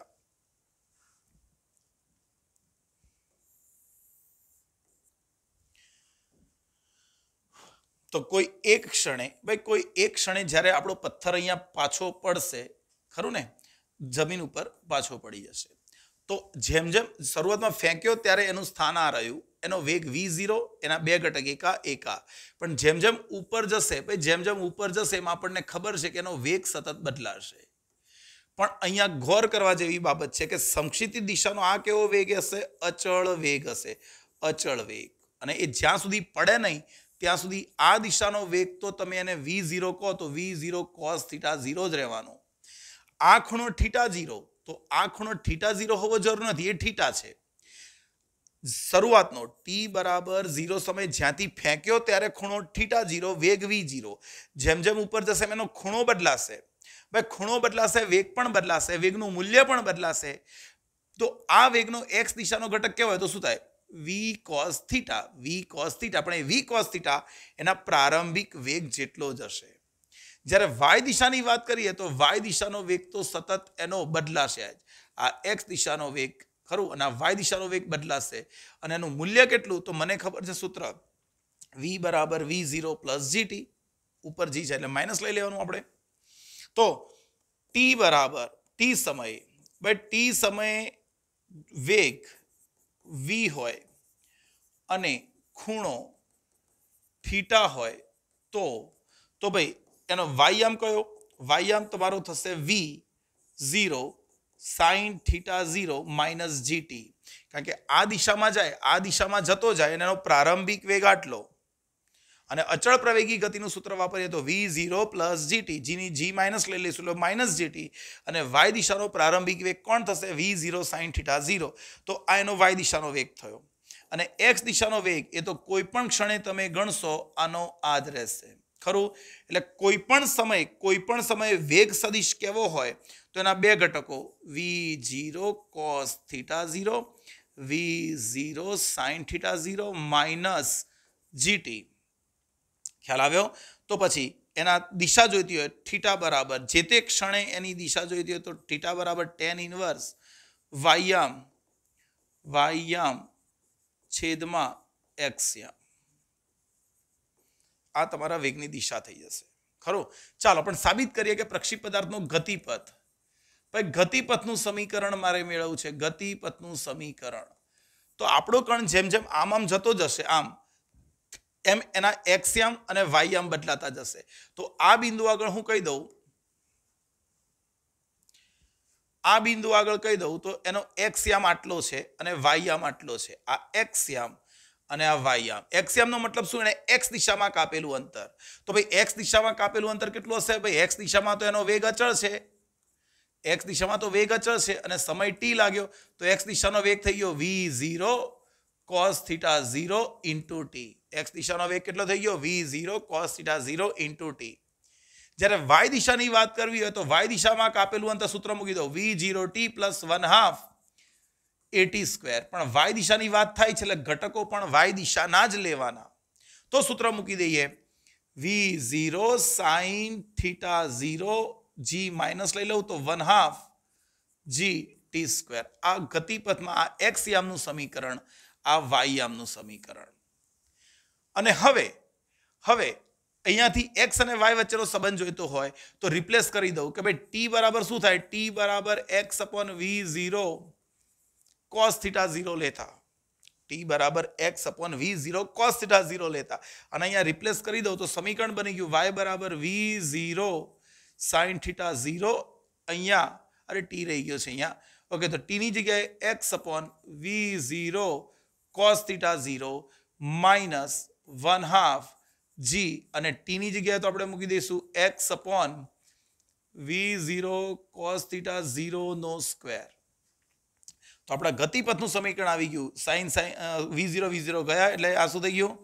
Tan theta zero into x minus અહીંયા g upon two v zero square cos square theta zero into x square આ સમીકરણને ઘોર કરશો તો આ અચળ છે એટલે એ કહી દેવાય. આટલું પણ અચળ છે એટલે બી કહી દેવાય. એટલે અહીંયા સાબિત થઈ ગયું કે એક ચલની એક ઘાત અને એકની મહત્તમ બે ઘાત. માટે ગતિપથ કેવો હશે પરવલયાકાર. કેવો હશે પરવલયાકાર એનો આકાર હશે. અને આ સમીકરણ પણ ખાસ યાદ રાખવાનું આ રહ્યું. વાય બરાબર tan theta zero x minus g upon two v zero square cos square theta zero into x square right next ચાલો પ્રક્ષિપ પદાર્થની શું શોધવાની છે? મહત્તમ ઊંચાઈ. પ્રક્ષિપ પદાર્થની મહત્તમ ઊંચાઈ મેળવવાનો પ્રયત્ન કરીએ. ફરી એકવાર થોડીક આકૃતિ દોરી દઉં. આ એક્સ દિશા, આ વાય દિશા, આપણે પદાર્થને આમ ફેંક્યો. થોડોક બરોબર ના પડ્યો પદાર્થ, એટલે એને ફરી પાડી દઈએ આપણે. તો અહીંયાથી પદાર્થ આમ પડ્યો છે. એનો પ્રારંભિક વેગ વી ઝીરો ખૂણો થીટા ઝીરો. આ દિશાનો ઘટક v zero cos theta zero. આ દિશાનો ઘટક v zero sine theta zero. આ વાય દિશાનો પ્રારંભિક, આ એક્સ દિશાનો પ્રારંભિક. ચાલો, મહત્તમ ઊંચાઈ. ભાઈ, મહત્તમ ઊંચાઈ જો મારે મેળવવી હોય તો હું સૂત્ર લખું. મહત્તમ ઊંચાઈ મહત્તમ ઊંચાઈ. ભાઈ, ઊંચાઈ એટલે કઈ દિશા સાથે સંકળાયેલી વાત? ઊંચાઈ એટલે કઈ દિશા સાથે સંકળાયેલી વાત? એક્સ દિશા કે વાય દિશા? વાય દિશા. તો મારે વાય દિશાની વાત કરવાની. તો મહત્તમ ઊંચાઈએ, ભાઈ, મહત્તમ ઊંચાઈએ એનો અહીંયા વાય દિશાનો વેગ કેટલો થઈ જશે? ઝીરો. જ્યારે એક્સ દિશાનો વેગ તો જે હશે, એનો એ જ રહેશે. યાદ રાખો કે જ્યારે પદાર્થ મહત્તમ ઊંચાઈએ પહોંચે, તો એનો વાય દિશાનો વેગ ઝીરો થઈ ગયો હવે ઉપર નહીં જાય, પણ આગળ તો જશે જ. કારણ કે એનો એક્સ દિશાનો વેગ તો પડે ના, ત્યાં સુધી આનો આદ રહેવાનો છે. તો મહત્તમ ઊંચાઈ મારે ગણવી હોય તો સૂત્ર વાય બરાબર, અથવા તો સૂત્ર મૂકે ડી બરાબર v square minus v zero square upon two a પણ અહીંયા બધા ઘટકો વાય દિશાના જ લેવાના. તો ચાલો વાય દિશામાં મહત્તમ ઊંચાઈએ. ભાઈ, મહત્તમ ઊંચાઈએ વેગ કેટલો થઈ જશે? ઝીરો. મહત્તમ ઊંચાઈએ વેગ ઝીરો. એનો પ્રારંભિક વેગ કેટલો હતો? એનો પ્રારંભિક વેગ કેટલો હતો Y દિશાનો? V zero. Sign theta નો સ્ક્વેર. તો v zero square sine theta sine square theta zero. Upon two into g મારે નેગેટિવ લેવાનું છે. માટે એચ શું સૂત્ર આવી ગયું? V zero square sines square theta zero upon two g ખરો? મહત્તમ ઊંચાઈનું સૂત્ર યાદ રાખવાનું. એચ બરાબર v zero square sines square theta zero upon two g તમારે પદાર્થને સૌથી વધારે ઊંચો ફેંકવો હોય તો નાઇન્ટી ડિગ્રીએ ફેંકવો પડે તો એનો સંપૂર્ણ વેગનો ઘટક ઉધ્વ દિશામાં જશે અને મહત્તમ વેગ ધારણ કરી શકશે. ચાલો, મહત્તમ ઊંચાઈએ પહોંચવા લાગતો સમય. ભાઈ મહત્તમ ઊંચાઈએ પહોંચવા લાગતો સમય એને હું ટીએમ કહી દઉં ભાઈ અહીંથી અહીં સુધી પહોંચતા લાગતો સમય તો મને ખબર છે હું સૂત્ર મૂકું વી બરાબર v zero plus a t પણ વાય દિશા હવે ઊંચાઈ એટલે ફરી વાય દિશા એટલે વાય દિશાના ઘટકો લેવાના તો મહત્તમ ઊંચાઈએ વેગ કેટલો થઈ ગયો જીરો પ્રારંભિક વેગ કેટલો હતો v zero sine theta zero. પ્રવેગ કેટલો હતો? જી અને સમય લાગ્યો ટી એમ તો તમને મહત્તમ ઊંચાઈનો સમય જોવા મળી ગયો v zero, sine theta zero upon g આ મહત્તમ ઊંચાઈનો. અને એના કારણે મારે શોધવો હોય તો ઉડ્ડયનનો કુલ સમય. ઉડ્ડયનનો કુલ સમય એટલે કે હવામાં કેટલો સમય એણે વ્યતીત કર્યો? અહીંથી ફેંક્યો અને અહીં જઈને પડ્યો. તો અહીંથી અહીં સુધી જે સમય લાગ્યો હશે, એને આપણે ઉડ્ડયનનો સમય કહીશું. પણ આપણને ખબર છે કે જેટલો નીચેથી ઉપર જતા સમય લાગ્યો હશે, એટલો જ ઉપરથી પાછો નીચે આવતા સમય લાગ્યો હશે. તો મહત્તમ ઊંચાઈ એનો ઉડ્ડયનનો સમય મળી ગયો two sine two v zero sine theta zero upon g. આ એનો ઉડ્ડયનનો કુલ સમય મળી ગયો. ખરું? ચાલો, અવધિ. ભાઈ સમક્ષિતિજ અવધિનું સૂત્ર મેળવીએ એની. સમક્ષિતિજ અવધિ. એને ઇંગ્લિશમાં કહીશું રેન્જ તો ભાઈ તમે પદાર્થને અહીંથી ફેંક્યો હતો અને અહીં જઈને પડ્યો, તો એણે આ દિશામાં કેટલું અંતર કાપ્યું? આ દિશામાં જે, એટલે સંક્ષિતિજ દિશામાં જે અંતર કાપ્યું, એને અવધિ કહેવાય. તો ભાઈ કયા અંતરને? સમક્ષિતિજ અંતરને અવધિ કહે છે. તો આર બરાબર. એટલે સંક્ષિતિત દિશાનું અંતર ગણવું હોય તો મને ખબર છે કે આ દિશામાં તો એનો વેગ કેવો હતો? અચળ. અને એ દિશાનો વેગ હતો વી ઝીરો એક્સ અને સમય કેટલો લાગ્યો ટોટલ ભાઈ અહીંથી અહીં સુધી પહોંચવામાં આટલો સમય લાગ્યો. તો પછી અવધિનું સૂત્ર વી, આખી ગતિ દરમિયાન એનો એક્સ દિશાનો વેગ તો આ જ રહેવાનો છે. આટલો સમય લાગ્યો એના ઉપર, two v zero sine theta zero upon g. તો આને સરખું રૂપ આપી દઈશું. તો v zero square sine two theta upon g. કારણ કે v zero square, v zero v zero v zero v zero square, two sine theta cos theta એટલે સાઇન ટુ થીટા આ એની અવધિ થઈ ગઈ. શું થઈ ગયા એની? અવધિ થઈ ગઈ.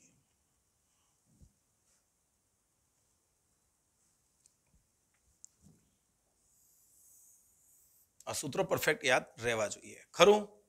તો આગળ. ભાઈ, મહત્તમ અવધિ માટે શું કરવું જોઈએ? મહત્તમ અવધિ માટે.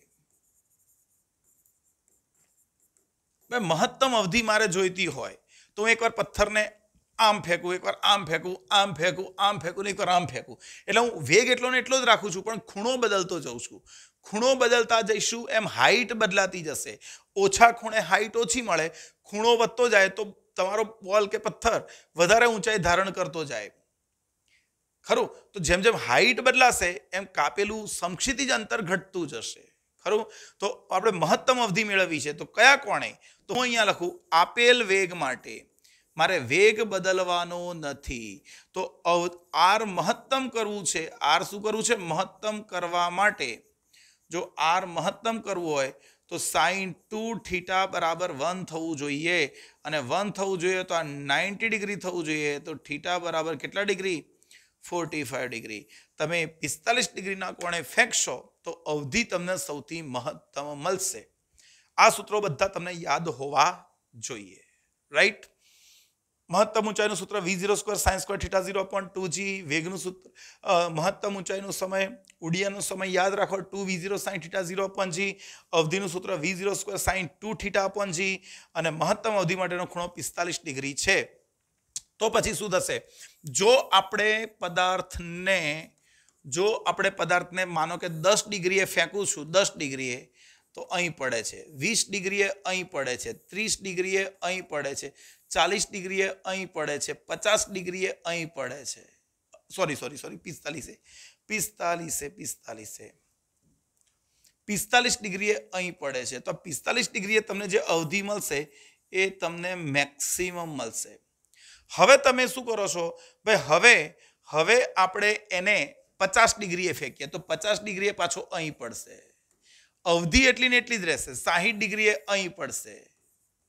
સિત્તેર ડિગ્રીએ અહીં પડશે, એંસી ડિગ્રીએ અહીં પડશે, નેવું ડિગ્રીએ અહીં જ પડશે. ખબર પડી કે નહીં? એનો મતલબ કે જો થીટા કોણે કે નાઇન્ટી માઇનસ થીટા કોણે ફેંકતા, અવધિ સમાન જ મળે. ભાઈ, થીટા કોણે ફેંકો કે નાઇન્ટી માઇનસ થીટા કોણે ફેંકો, અવધિ તમને સમાન મળે. એટલે પિસ્તાલીસથી ઉપર દસ ડિગ્રી અથવા પિસ્તાલીસથી નીચે દસ ડિગ્રી, એવું, આવું પણ કહેવાય કે એક ખૂણો પિસ્તાલીસ પ્લસ થીટા કે બીજો ખૂણો પિસ્તાલીસ માઇનસ થીટા, તો પણ અવધિ કેવી મળે? સમાન મળે. હા હાઇટ વધતી જાય. તમે જેટલો ખૂણો મોટો રાખશો, એટલી હાઇટ વધારે મળશે. નેવું ડિગ્રી સુધી. ખરું કે નહીં? ચાલો આગળ. આ આપણે વાત કરી કોની? પ્રક્ષિપ્ત પદાર્થની. હવે એક ખાલી સૂત્ર મેળવી લઈએ કે આ ખૂણો કેટલો? પ્રક્ષિપ્ત ખૂણાનું એક સૂત્ર ઇઝી મેળવી લઈએ તો આપણને ખ્યાલ આવે કે ભાઈ આ વી ઝીરો છે અને આ ખૂણો થીટા ઝીરો છે. તો મહત્તમ ઊંચાઈનું સૂત્ર આપણે શું લખ્યું? V zero square sine square theta zero upon two g અને અવધિનું સૂત્ર શું લખ્યું આપણે? V zero square sine two theta zero upon g તો હું એક કામ કરું એચ અપોન આરનો ગુણોત્તર લઈ લઉં. આના ભાગ્યા આ.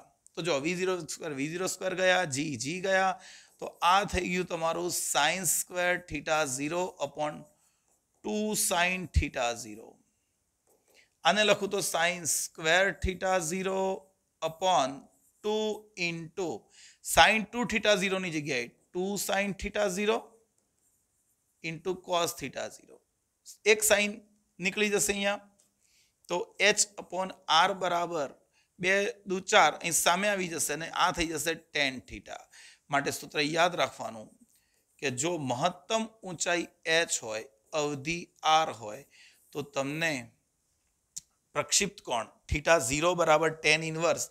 લખવું હોય તો લખાય કે થીટા ઝીરો બરાબર tan inverse four h upon r. ખરું? ચાલો, હવે અહીંયા એક પદાર્થ આપણે સંક્ષિતિત ફેંક્યો. પણ માની જો કે ઢાળ ઉપર ફેંક્યો તો શું? તો એની ચિંતા નીટવાળાએ કરવાની જરૂર નથી. નીટમાં એવા ક્વેશ્ચન ક્યારેય પૂછાશે નહીં.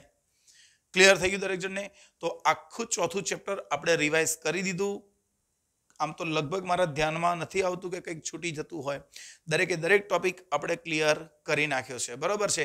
આ મેં ફટાફટ થોડું બતાવ્યું બે કલાકમાં કે જે તમારે રિવિઝન કરવાનું હતું, જે અગિયારમાંનું થોડું ફરી યાદ કરવાનું હતું. પણ એકવાર તમારા જે ચોપડા હોય એ ફરી એકવાર વાંચવાના એક એક નાની નાની વસ્તુ આ કોન્સેપ્ટ ક્લિયર કરી લો. પછી આ જ વિડીયોના ડિસ્ક્રિપ્શનમાં ચેપ્ટર ચારના જ પીવાય ક્યુ પ્રીવિયસ યર્સમાં પૂછાયેલા નીટ એમ્સ અને એઆઈપીએમટી આ બધાના આપણે એક જેટલા પણ પચાસ સાહીઠ જેવા ન્યુમેરિકલ્સ છે એમસીક્યુઝ છે, એ દરેકે દરેક ગણેલા છે. કેવી રીતે ગણવાના એ પણ તમને શોર્ટ મેથડને બધું ત્યાં સમજાયેલું જ છે. બરાબર છે? ચાલો, મળીએ નેક્સ્ટ લેક્ચરમાં તો નેક્સ્ટ લેક્ચરમાં આપણે પીવાય ક્યુ ગણીએ છીએ. ત્યાં સુધી આખા કોન્સેપ્ટ ક્લિયર કરી નાખો. બરાબર છે? ચાલો, મળીએ.